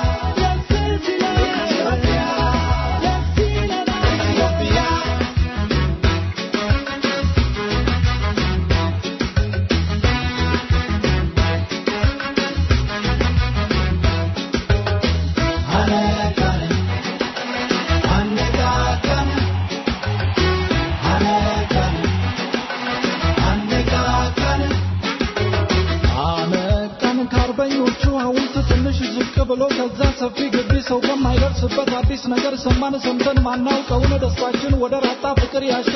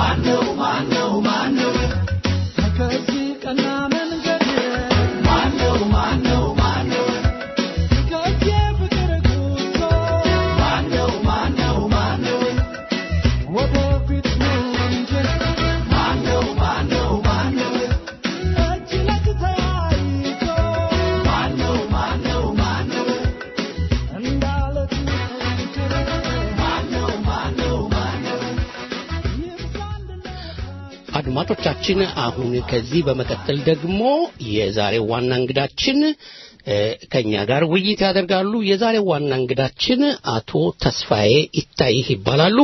በስካንዲኔቪያ የኢትዮጵያ ሚስዮን ምክትል መሪ ናቸው። ከእሳቸው ጋር ውይይት የምናደርገው ሰሞኑን አገራችን ውስጥ በተፈጠረው ግርግርና የሰው ልጆች በአሰቃቂ ሁኔታ ጭፍጨፋ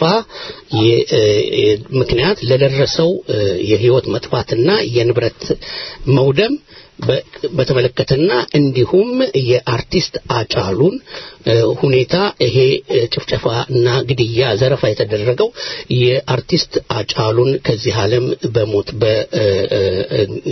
በወንጀለኞች በተደረገበት ጥቃት ከህይወቱ ማለፍ በመሆኑ እነዚህና ሌሎችን ነገሮች ከእሳቸው ጋር ውይይት እናደርጋለን። ጤና ይስጥልኝ አቶ ተስፋዬ ይታይህ። ጤና ይስጥልኝ አቶ አህመድ እንደምን ዋልክ? እጅግ በጣም እናመሰግናለን። መልካም ፈቃዶ ሆኖ ከኛ ጋር ውይይት ለማድረግ እንግዲህ ለአድማጮቻችን ክሊር ለማድረግ በቅድሚያ የኢትዮጵያ ድምፅ ሬዲዮ የሚፈልገው አንድ ነገር አለ። እጅግ በጣም እናመሰግናለን ኤምባሲው ለዚህ ለኢንተርቪው እ፣ ተባባሪ በመሆኑ ከዛ ቀደም ብሎ ግን በቅድሚያ ኤምባሲውን ሐሙስ ለታ አነጋግረን ክቡር አምባሳደር ድሪባ ኩማ እንዲቀርቡ ጠይቀን ነበር። እሳቸውም መልካም ፈቃዳቸውን ገልጸውልን ጥያቄዎቹን ላኩ ብለውን እሺ ብለን ልከን አርብ ለታ positive መልስ ተሰጥቶን ነበር። ግን ቅዳሜ ለታ በጧት ተደውሎ አስቸኳይ ጉዳይ ስለደረሳቸው ሊቀርቡ አልቻሉም ብለውናል። ወደፊት እንግዲህ ተስፋ እናደርጋለን ከእሳቸው ጋርም ሰፋ ያለ ውይይት እናደርጋለን ብለን ተስፋ እናደርጋለን። እርስዎን እጅግ በጣም አመሰግኖታለሁ አቶ ተስፋዬ። እስቲ ውይይታችን ለመጀመር ያህል አሁን ያለውን ቀውስ ለማረጋጋት መንግስት የሚወስዳቸው እርምጃዎች ምንድን ናቸው? አቶ ተስፋዬ። አመሰግናለሁ። በቅድሚያ በሀገራችን በተለየ ድምፃዊ ሀጫሉ ሁንዴሳን ሞት ተከትሎ በአርቲስቱ ሞትና ያን ተከትሎ ደግሞ በሕይወትና በንብረት ላይ በደረሰው ከፍተኛ ውድመት በራሴም በኤምባሲያችንም ስም የተሰማኝን ሀዘን ለመግለጽ እወዳለሁ። እንግዲህ ቀውስ ተከስቷል በሀገራችን። ስለዚህ ይህን ቀውሱን ለማርገብ መደረግ ያለበት የመጀመሪያው ስራ ሕግና ስርዓትን ወይም የሕግ የበላይነትን ማስከበር ነው። በወንጀሉ ተባባሪ የነበሩ ፈጻሚ የነበሩ አቀናባሪና አቃጅ የነበሩ አካላትን ይዞ ለሕግ ማቅረብና በዓለም አቀፍ ሕግም በሚፈቅደው መሰረት እና በሀገራችንም ባለው ሕግ መሰረት ሰብአዊና መብታቸው ተከብሮ እንደፈጸሙት ጥፋት እንደሰሩት ወንጀል እነዚህ በዚህ ጉዳይ ላይ ተጠርጥረው ያሉ ሰዎች ለሕግ እንዲቀርቡ ማድረግ ነው። አንደኛው ስራ እንግዲህ የሕግ የበላይነትን ማስከበር፣ የጸጥታ ኃይሉ የህብረተሰቡን ጸጥታ መጠበቅ፣ ህብረተሰቡ ደግሞ ስለተፈጠረው ችግር እንዲያውቅ ግንዛቤ እንዲኖረው እና በሂደት ደህንነት እየተሰማው እንዲሄድ የማድረግ በዚህ ግጭት በዚህ ችግር ምክንያት የወደሙ ንብረቶችን መልሶ ንብረታቸው የወደመባቸው ሰዎችም እንዲገነባ ማድረግ በአጠቃላይ እንዲህ አይነት ችግሮች መልሰው በሀገራችን እንዳይከሰቱ የሚያደርግ ህጋዊ፣ ፖለቲካዊ ስራዎችን መስራት ነው ዋናው የሚሆነው። ስለዚህ ይሄ ክስተቱ ከተከሰተ ወዲህ ጀምሮ እየተከናወነ ያለው ስራ በሀገራችን ይመስላል። ይሄ ተጠናክሮ የሚቀጥል ነው የሚሆነው። በሀገራችን ሰላምና መረጋጋት መፈጠር መቻል አለበት። የህዝብ ደህንነት መጠበቅ መቻል አለበት። የህዝብ ሀብትና ንብረት፣ የመንግስት ሀብትና ንብረት ከማንም ጥቃት መጠበቅ አለበት። ከሁሉም በላይ የህግ የበላይነት መከበር አለበት። የመንግስት ግዴታ ነው የህግ የበላይነት ማስከበር፣ የዜጎችን ደህንነት መጠበቅ። ስለዚህ ይህን ኃላፊነቱን አጠናክሮ እንደሚወጣ መንግስትም እያረጋገጠና ተግባራዊ እንቅስቃሴ እያደረገ ስለሆነ በዚህ ሁኔታ የሚቀጥል ይሆናል ማለት ነው። አቶ ተስፋዬ ያሉት ማለፊያ ቆንጆ እኛም እስከዛሬ ስንጮህበት የነበረው የህግ የበላይነት ይከበር የህዝ- የህዝብ ሰላም ይከበር እያልን ነበር። ብዙ ኢትዮጵያኖች በአብዛኛው ኢትዮጵያዊ ትልቁ ችግሩ ይሄ ነበር። ምልክቶች ይታዩ ነበር። አቶ ተስፋዬ በተደጋጋሚ ሰዎች ይገደሉ ነበር፣ ሰዎች ይፈናቀሉ ነበር። እነዚህ ለ- ለየህግ የበላይነት አለመከበሩን የሚያሳዩ ምልክቶች ይታዩ ነበር። በተደጋጋሚ ብዙ ህይወት አልፏል። ያንን ምልክት ማየት አቅቶን ነው? ለምንድን ነው እስከዛሬ እንዲህ አይነት እርምጃ መወሰድ ያልቻለው? አዎ እንግዲህ ሀገራችን በለውጥ ሂደት ላይ ነው የነበረች። ይሄ ለውጥ ከመምጣቱ በፊት በሀገራችን ትንሽ የዲሞክራሲ ምህዳሩ የተጣበበበት ሰዎች በሚይዙት የፖለቲካ አስተሳሰብ ጭምር ለጉዳት የሚዳረጉበት ብዙ የፖለቲካ ድርጅቶች በውጭ ሀገር በስደት የሚኖሩበት አንዳንዶቹ የትጥቅ ትግል አውጀው አንዳንድ ሙከራ የሚያደርጉት ሌሎችም ትጥቅ ባይኖራቸውም ያው ሀገር ቤት መንቀሳቀስ ስላልቻሉ አንድ ሶስት የፖለቲካ ድርጅቶች እንደምናስታውሰው ሽብርተኛ ድርጅት ተብለው ተፈርጀው የነበሩበት በአጠቃላይ የሀሳብ የሀሳብ በነጻ የመግለጽ የመደራጀት መብቶች የመሳሰሉ ሁሉ ታፍነው እንደነበረ እናስታውሳለን። ብዙ የዲሞክራሲ ታሪክ ያላት አይደለችም ሀገራችን። ያው ብዙውን ጊዜ የሚታወቀው ያው የአምባገንነት አ፣ ስርዓት እንደነበረ ነው። ስለዚህ ይሄ ለውጥ ሲመጣ የተወሰዱት እርምጃዎች እናስታውሳለን። በውጭ የነበሩ የፖለቲካ ድርጅቶች ሚዲያ ከፍተው የነበረውን ስርዓት ይቃወሙ የነበሩ ሚዲያዎች፣ ፖለቲከኞች፣ የሰብአዊ መብት ተሟጋቾች የመሳሰሉት ወደ አገር ቤት ያፈጥሎባቸው የነበረ የህግ እገዳ ሁሉ ተነስቶላቸው በነጻነት እንዲንቀሳቀሱ ነው የነበሩ የተደረገው። የፖለቲካ ምህዳሩ እንዲሰፋ ነው የተደረገው። ስለዚህ ማንም ሰው በፖለቲካ ውስጥ መሳተፍ እችላለሁ ያለ መደራጀት፣ ሀሳቡን መግለጽ የመሳሰሉትን ማድረግ መብቶች የተከበሩበት ሁኔታ ነው ያለው ማለት ነው። ስለዚህ መንግስት በቀና ልቦና ይሄ ተዘግቶ የነበረው ለዘመናት ሲከፈት ምንም እንኳ አንዳንድ ደስ የማይኑ ነገሮች ሊከሰቱ ቢችሉም ይሄንን በትዕግስት እ፣ ዲሞክራሲን ተለማምደን ያልቆየን ህዝቦች ስለሆን ሀገር ስለሆን ይሄንን መለማመድ አለብን በሚል መንግስት ትንሽ ትዕግስቱን በከፍተኛ ደረጃ እንትን አድርጎ ቆይቷል ማለት ነው። ይሄ እንግዲህ በለውጡ የማይደሰቱ ወይም በአጭር ጊዜ ወደ ስልጣን መውጣት ለሚፈልጉ ኃይሎች የልብ ልብ የሰጠበትና አሁን ለሀገራችን ላጋጠማት አሳዛኝ ችግር አይተነው በታሪካችን ማናውቀው አይነት ሁኔታ ተከስቷል ማለት ነው። ስለዚህ የመንግስት እሳቤ የነበረው ያው የእኛ መንግስታት የሚታወቁት መንግስት ትንሽ ፈርጠም ብሎ በሆነ ባልሆነው ማሰር እና የተለያዩ ተጽዕኖዎችን ማድረግ እነዚህ እነዚህ አይነት ሁኔታዎች ነው የነበሩ እና ከዚህ አውድ ወደ ወደዚህኛው ወደ ሀሳብን በነጻ ወደ መግለጽ በነጻ የመደራጀት ይሄ peaceful political dispensation የምንለው የፖለቲካ ሀሳብን የማራመድ እና ስልጣን ደግሞ የመንግስት ስልጣን የሚያዘው በምርጫ ተወዳድሮ ስለሆነ ህዝቡ ይሁን ያለው ስለሆነ ይሄ ምህዳር ሰፊ መሆን አለበት በሚል የተከፈተ እንትን አለ። ግን ይሄንን ሁሉም በቀናነት አልወሰደውም እንዳየ ነው።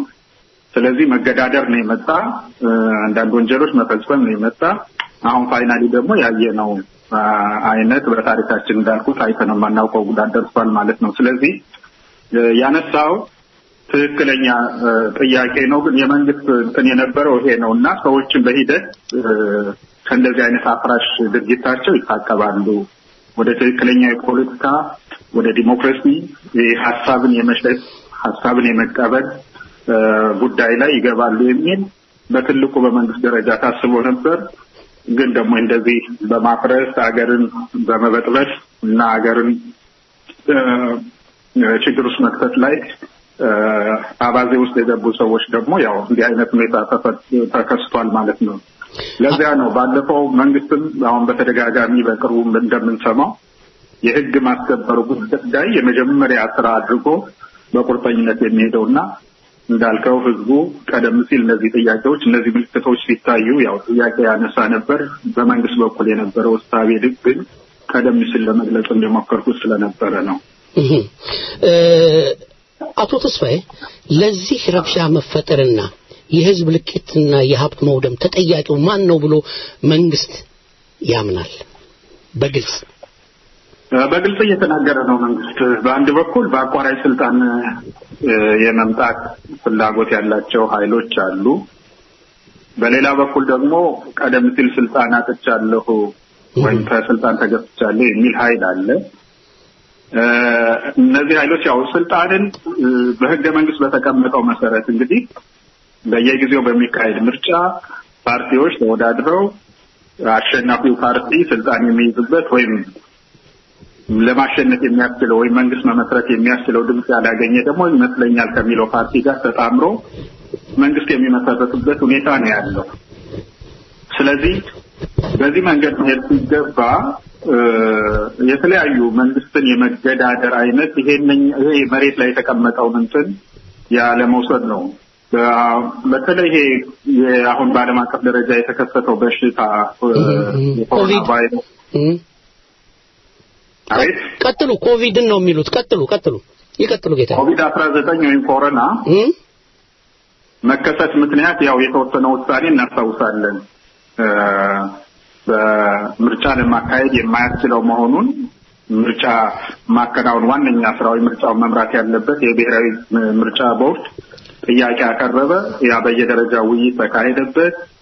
መጨረሻ ላይ ይሄ በሽታ እያለ የአስቸኳይ ይህን በሽታ ለመቆጣጠር የአስቸኳይ ጊዜ አዋጅ ታውጆ ባለበት ሁኔታ ሰፊ የህዝብ እንቅስቃሴ የሚጠይቀውን ምርጫ ለማካሄድ ስለማይቻል በሽታው በቁጥጥር ስር እስከሚውል ድረስ ምርጫውን ማዘግየት ይገባል የሚል ውሳኔ ተላለፈ።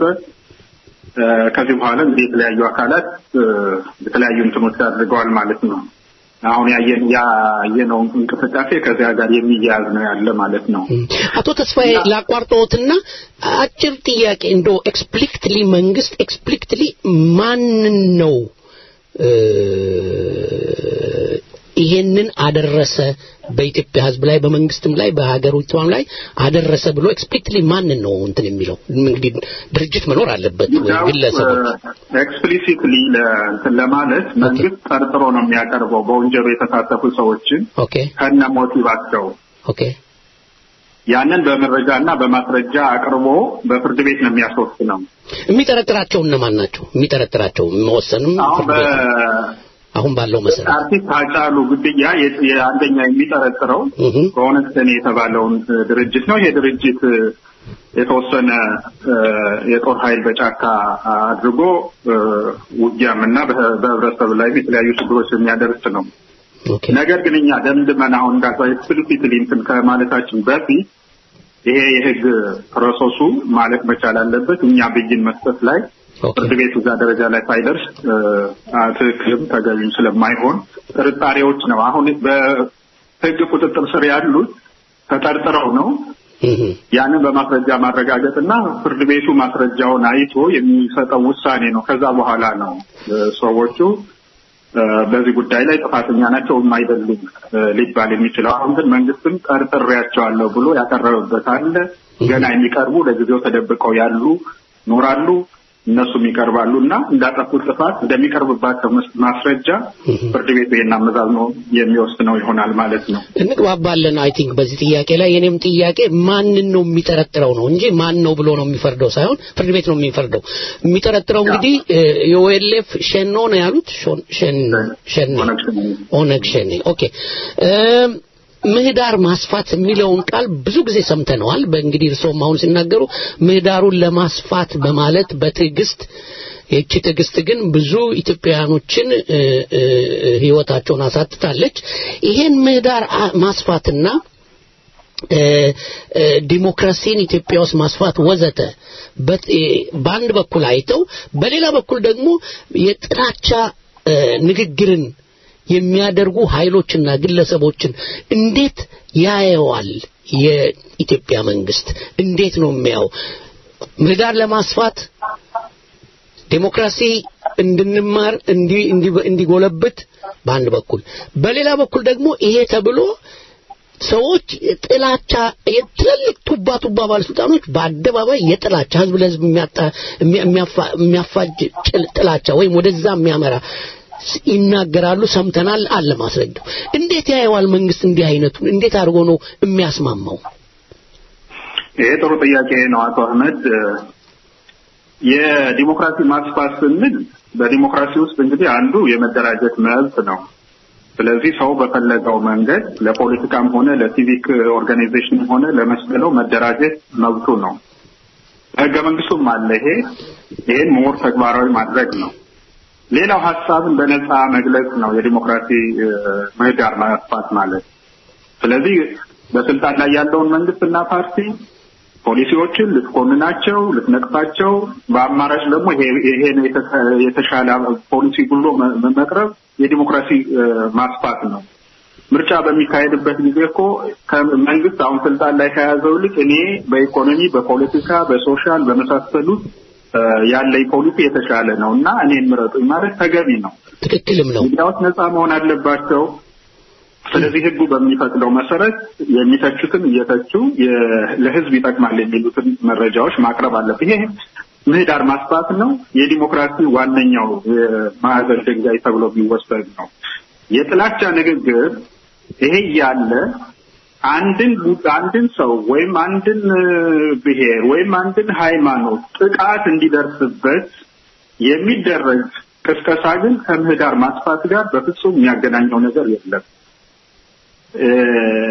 በህገ መንግስቱ ሁሉም ህዝቦች፣ ብሔረሰቦች፣ ቋንቋዎች፣ ሃይማኖቶች እኩል ናቸው እና መንግስት ደግሞ ለሁሉም እኩል ጥበቃ ያደርጋል የሚል ያለ እና targeted የሆነ ያ አካል እ፣ እንዲጠቃ የሚያደርጉ ቅስቀሳዎች ግን የጥላቻ ንግግሮች ናቸው። ህግም ወጥቶለታል። በዛ መሰረት ነው የሚዳኘው ማለት ነው እና ህዝብን የሚጎዳ አንድን አንድን ህዝብ የዚህ ብሔረሰብ ነው ተብሎ የዚህ ሃይማኖት ተከታይ ነው ተብሎ የዚህ አስተሳሰብ ተከታይ ነው ተብሎ ሀሳቡን በሀሳብ ነው እንጂ የሚሞገተው ጥቃት እንዲደርስበት የሚደረግ እንቅስቃሴ ሁሉ የጥላቻ ንግግር ነው። ይሄ ደግሞ በየትኛውም ዲሞክራሲያዊ ሀገር ወይም በዲሞክራሲ ጽንሰ ሀሳብ ውስጥም የሌለ ነው። ዲሞክራሲ ማለት የተለያዩ ሀሳብ የሀሳብ ገበያ ነው። ሀሳብ ማቅረብ ነው። የእኔ ፖሊሲ በዚህኛው ይሄ ነው ከአንተው የተሻለ ነው ብሎ መጨረሻ ላይ የሚወስነው ህዝቡ ነው፣ መራጩ ነው። እድሉ የሚሰጠው ዳኛው ህዝቡ ነው የሚሆነው ማለት ነው። ይሄ ጤናማ አካሄድ ነው። ከዚህ ውጭ ግን በአንዱ የህብረተሰብ ክፍል በአንዱ የሃይማኖት ተከታይ even በአንዱ ግለሰብ ላይ የሚደረግ በእሱ ላይ ጥቃት እንዲደርስበት የሚያደርግ እንቅስቃሴ የጥላቻ ንግግር ነው። ይሄ ደግሞ በሞራልም በህግም እንደ ፖለቲካም ትክክል አይደለም እና ከዚህ አንጻር ነው መንግስት የሚገነዘበው። አቶ ተስፋዬ እጅግ በጣም አመሰግናለሁ። አንድ ሁለት ጥያቄዎች አሉኝ። አጭር ጊዜ ነች ያለችኝ። እንግዲህ መልካም ፈቃድ ሆኖ ፈጠን ፈጠን ብለው ይመልሱልኝና ይችኛውን የጀመርኳትን አጭር ጥያቄ ልጠይቅና ወደ ሁለቱ ጥያቄዎች እገባለሁ። እንዳሉት ነው ቴዎሬቲካሊ ዲሞክራሲው እንደሱ ነው የሚለው ግን ኢትዮጵያ ውስጥ የጥላቻ ንግግር አልተደረገም። በየተወሰኑ ብሔር ወይም ደግሞ ህዝቦች ወይም ሰዎች ላይ ጥቃት አልደረሰም። ይሄ ሁሉ ተደርጓል። ይሄንን እንዴት ነው ከምህዳር ማስፋት ጋር ታዩት ያየው የነበረው እስከ ዛሬ ድረስ መንግስት ነው የኔ ጥያቄ። ቴዎሬቲካሊ ልክ ነው፣ ግን እንዴት ነበር የሚታይ የነበረው? ያ እንግዲህ መንግስት የመጀመሪያው አካባቢ የነበረው ወይም ቅድም እንኮ ለማጥቀስ ሞክሬያለሁ። ይሄ ተዘግቶ የነበረ ቤት ለረጅም ጊዜ በሚከፈትበት ጊዜ ያው ውስጡ አየሩ ታፍኖ ስለነበረ ጠረኑ ጥሩ አይሆንም ነው።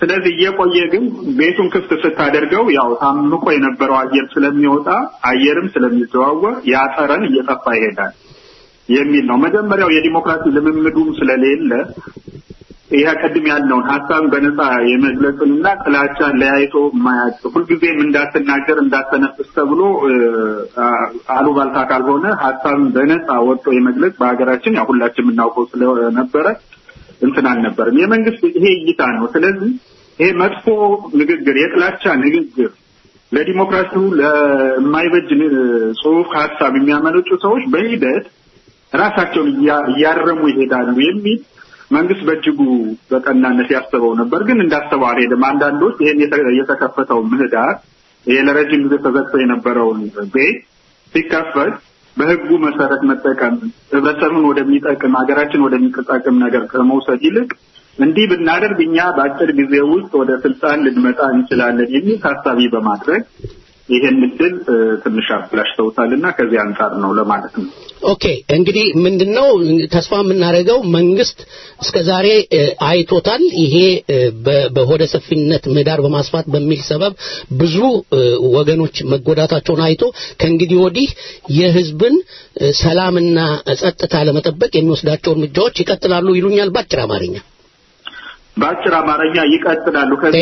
ምንም አይነት አማራጭ የለም። thank you ጌታዬ፣ ሁለት ጥያቄ ያለኝ የቀረኝ እንግዲህ እነዚህን የቀሩትን ጥያቄ ሁለቱን ጥያቄዎቹን በአጭር ጊዜ ውስጥ እናያቸዋለን ብዬ ተስፋ አደርጋለሁ። በአውሮፓና በአሜሪካ አሁን ትልቅ ድባብ ፍርሃ- የፍርሃት ድባብ እየደረሰ ነው። እነዚህ አሸባሪ የሚባሉ ኃይሎች ብዙም በማያውቁ ወጣቶች አማካኝነት አደጋ እያደረሱ ነው።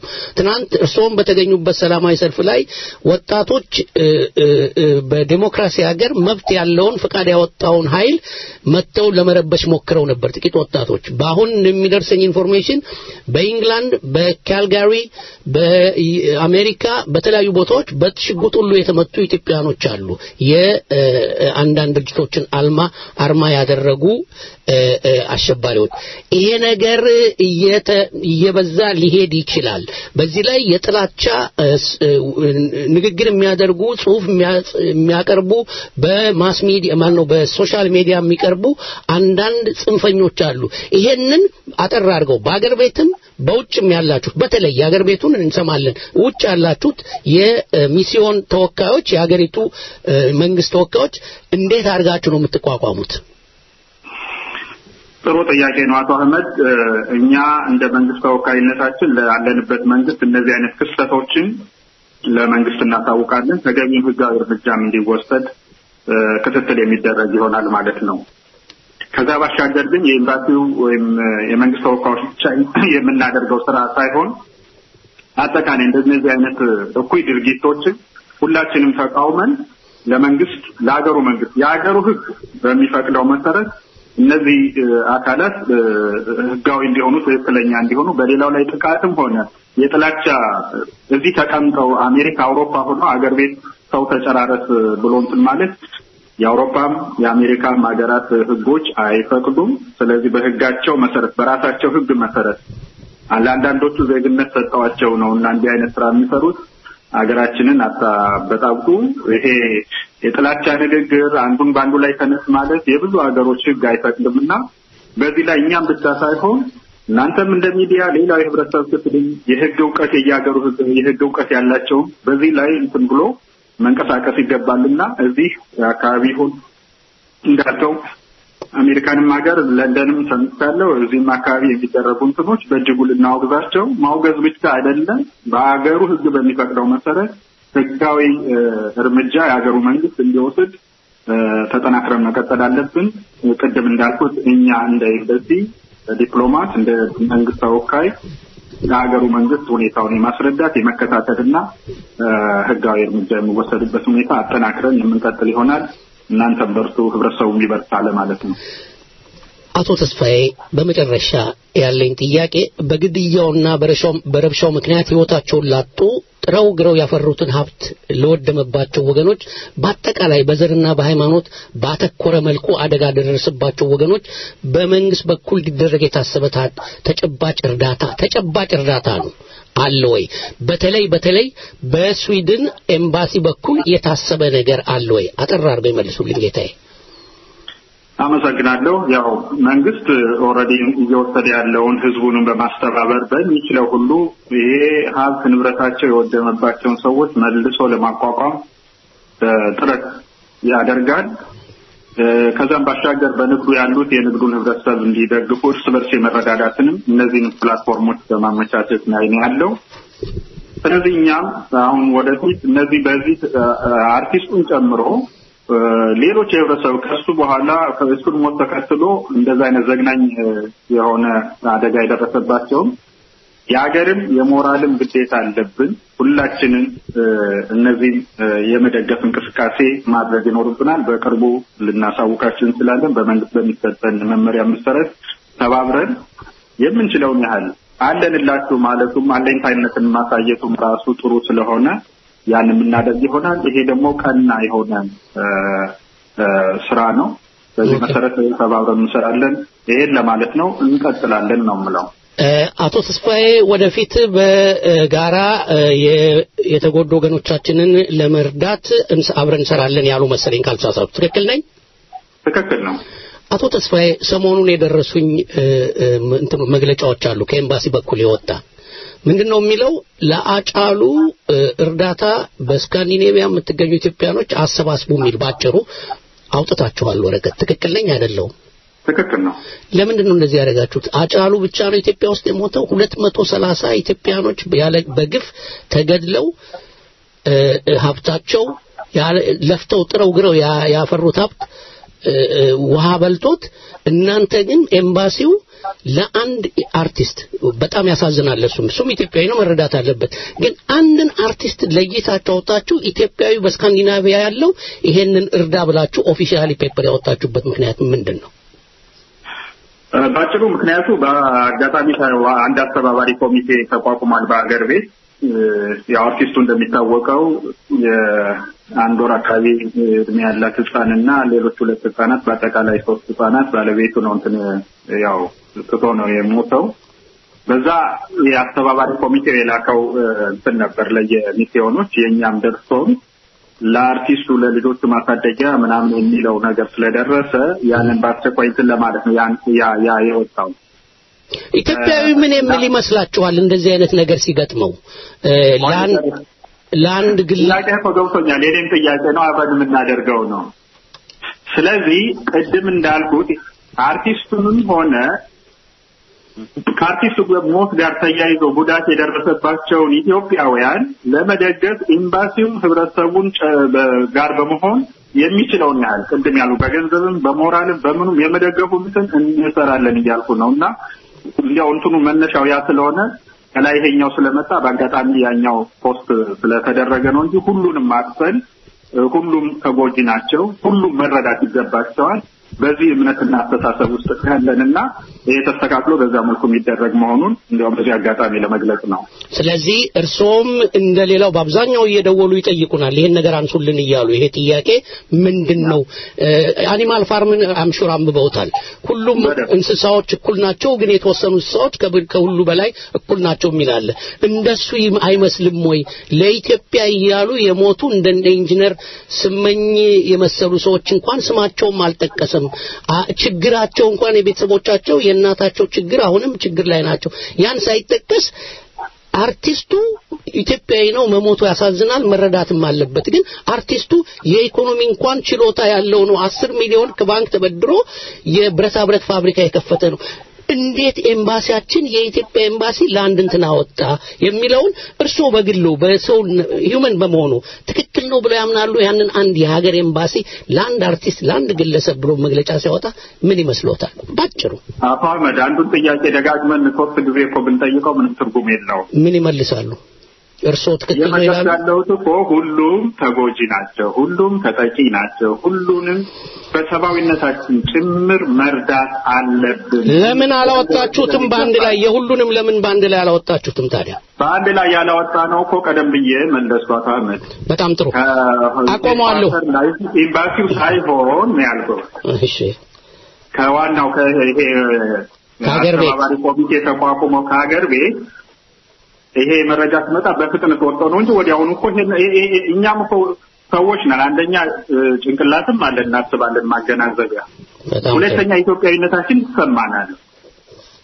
ተጎጂዎችን እኩል ነው የምናየው። አንድ ሰው አይደለም በዚህ በሐምሌ እኛ ሀገር አሁን ክረምት ነው፣ ዝናብ የሚዘንብበት ወቅት ነው።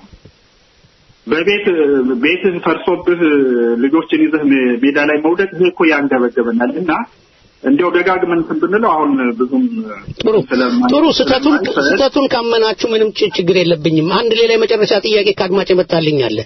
መከላከያ ሚኒስቴር አለን ወይስ የለንም? መከላከያ ሚኒስቴር በደንብ ነው ያለ። መከላከያ እኮ ስላለን ነው ሀገርና ሕዝብ እየተጠበቀ ያለው።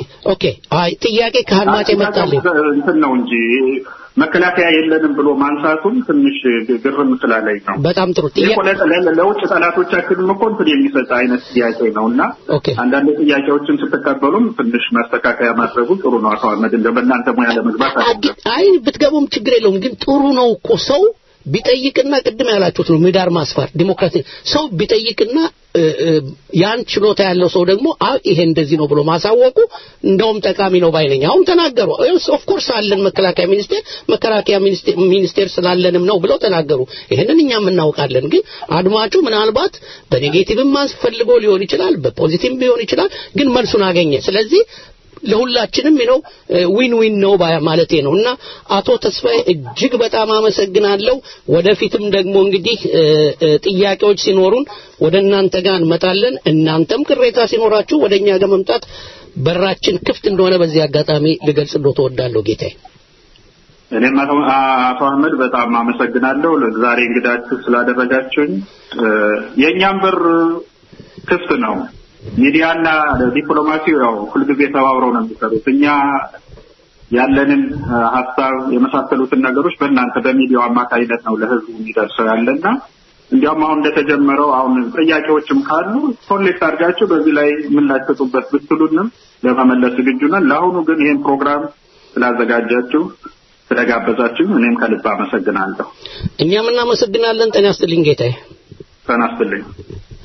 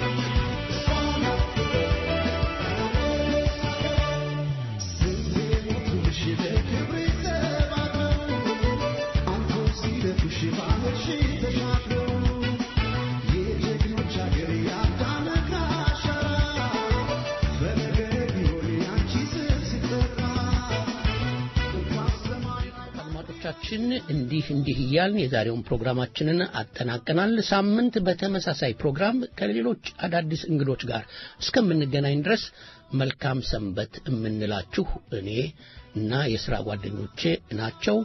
ጤና ይስጥልኝ። መልካም ሳምንት ይሁንላችሁ።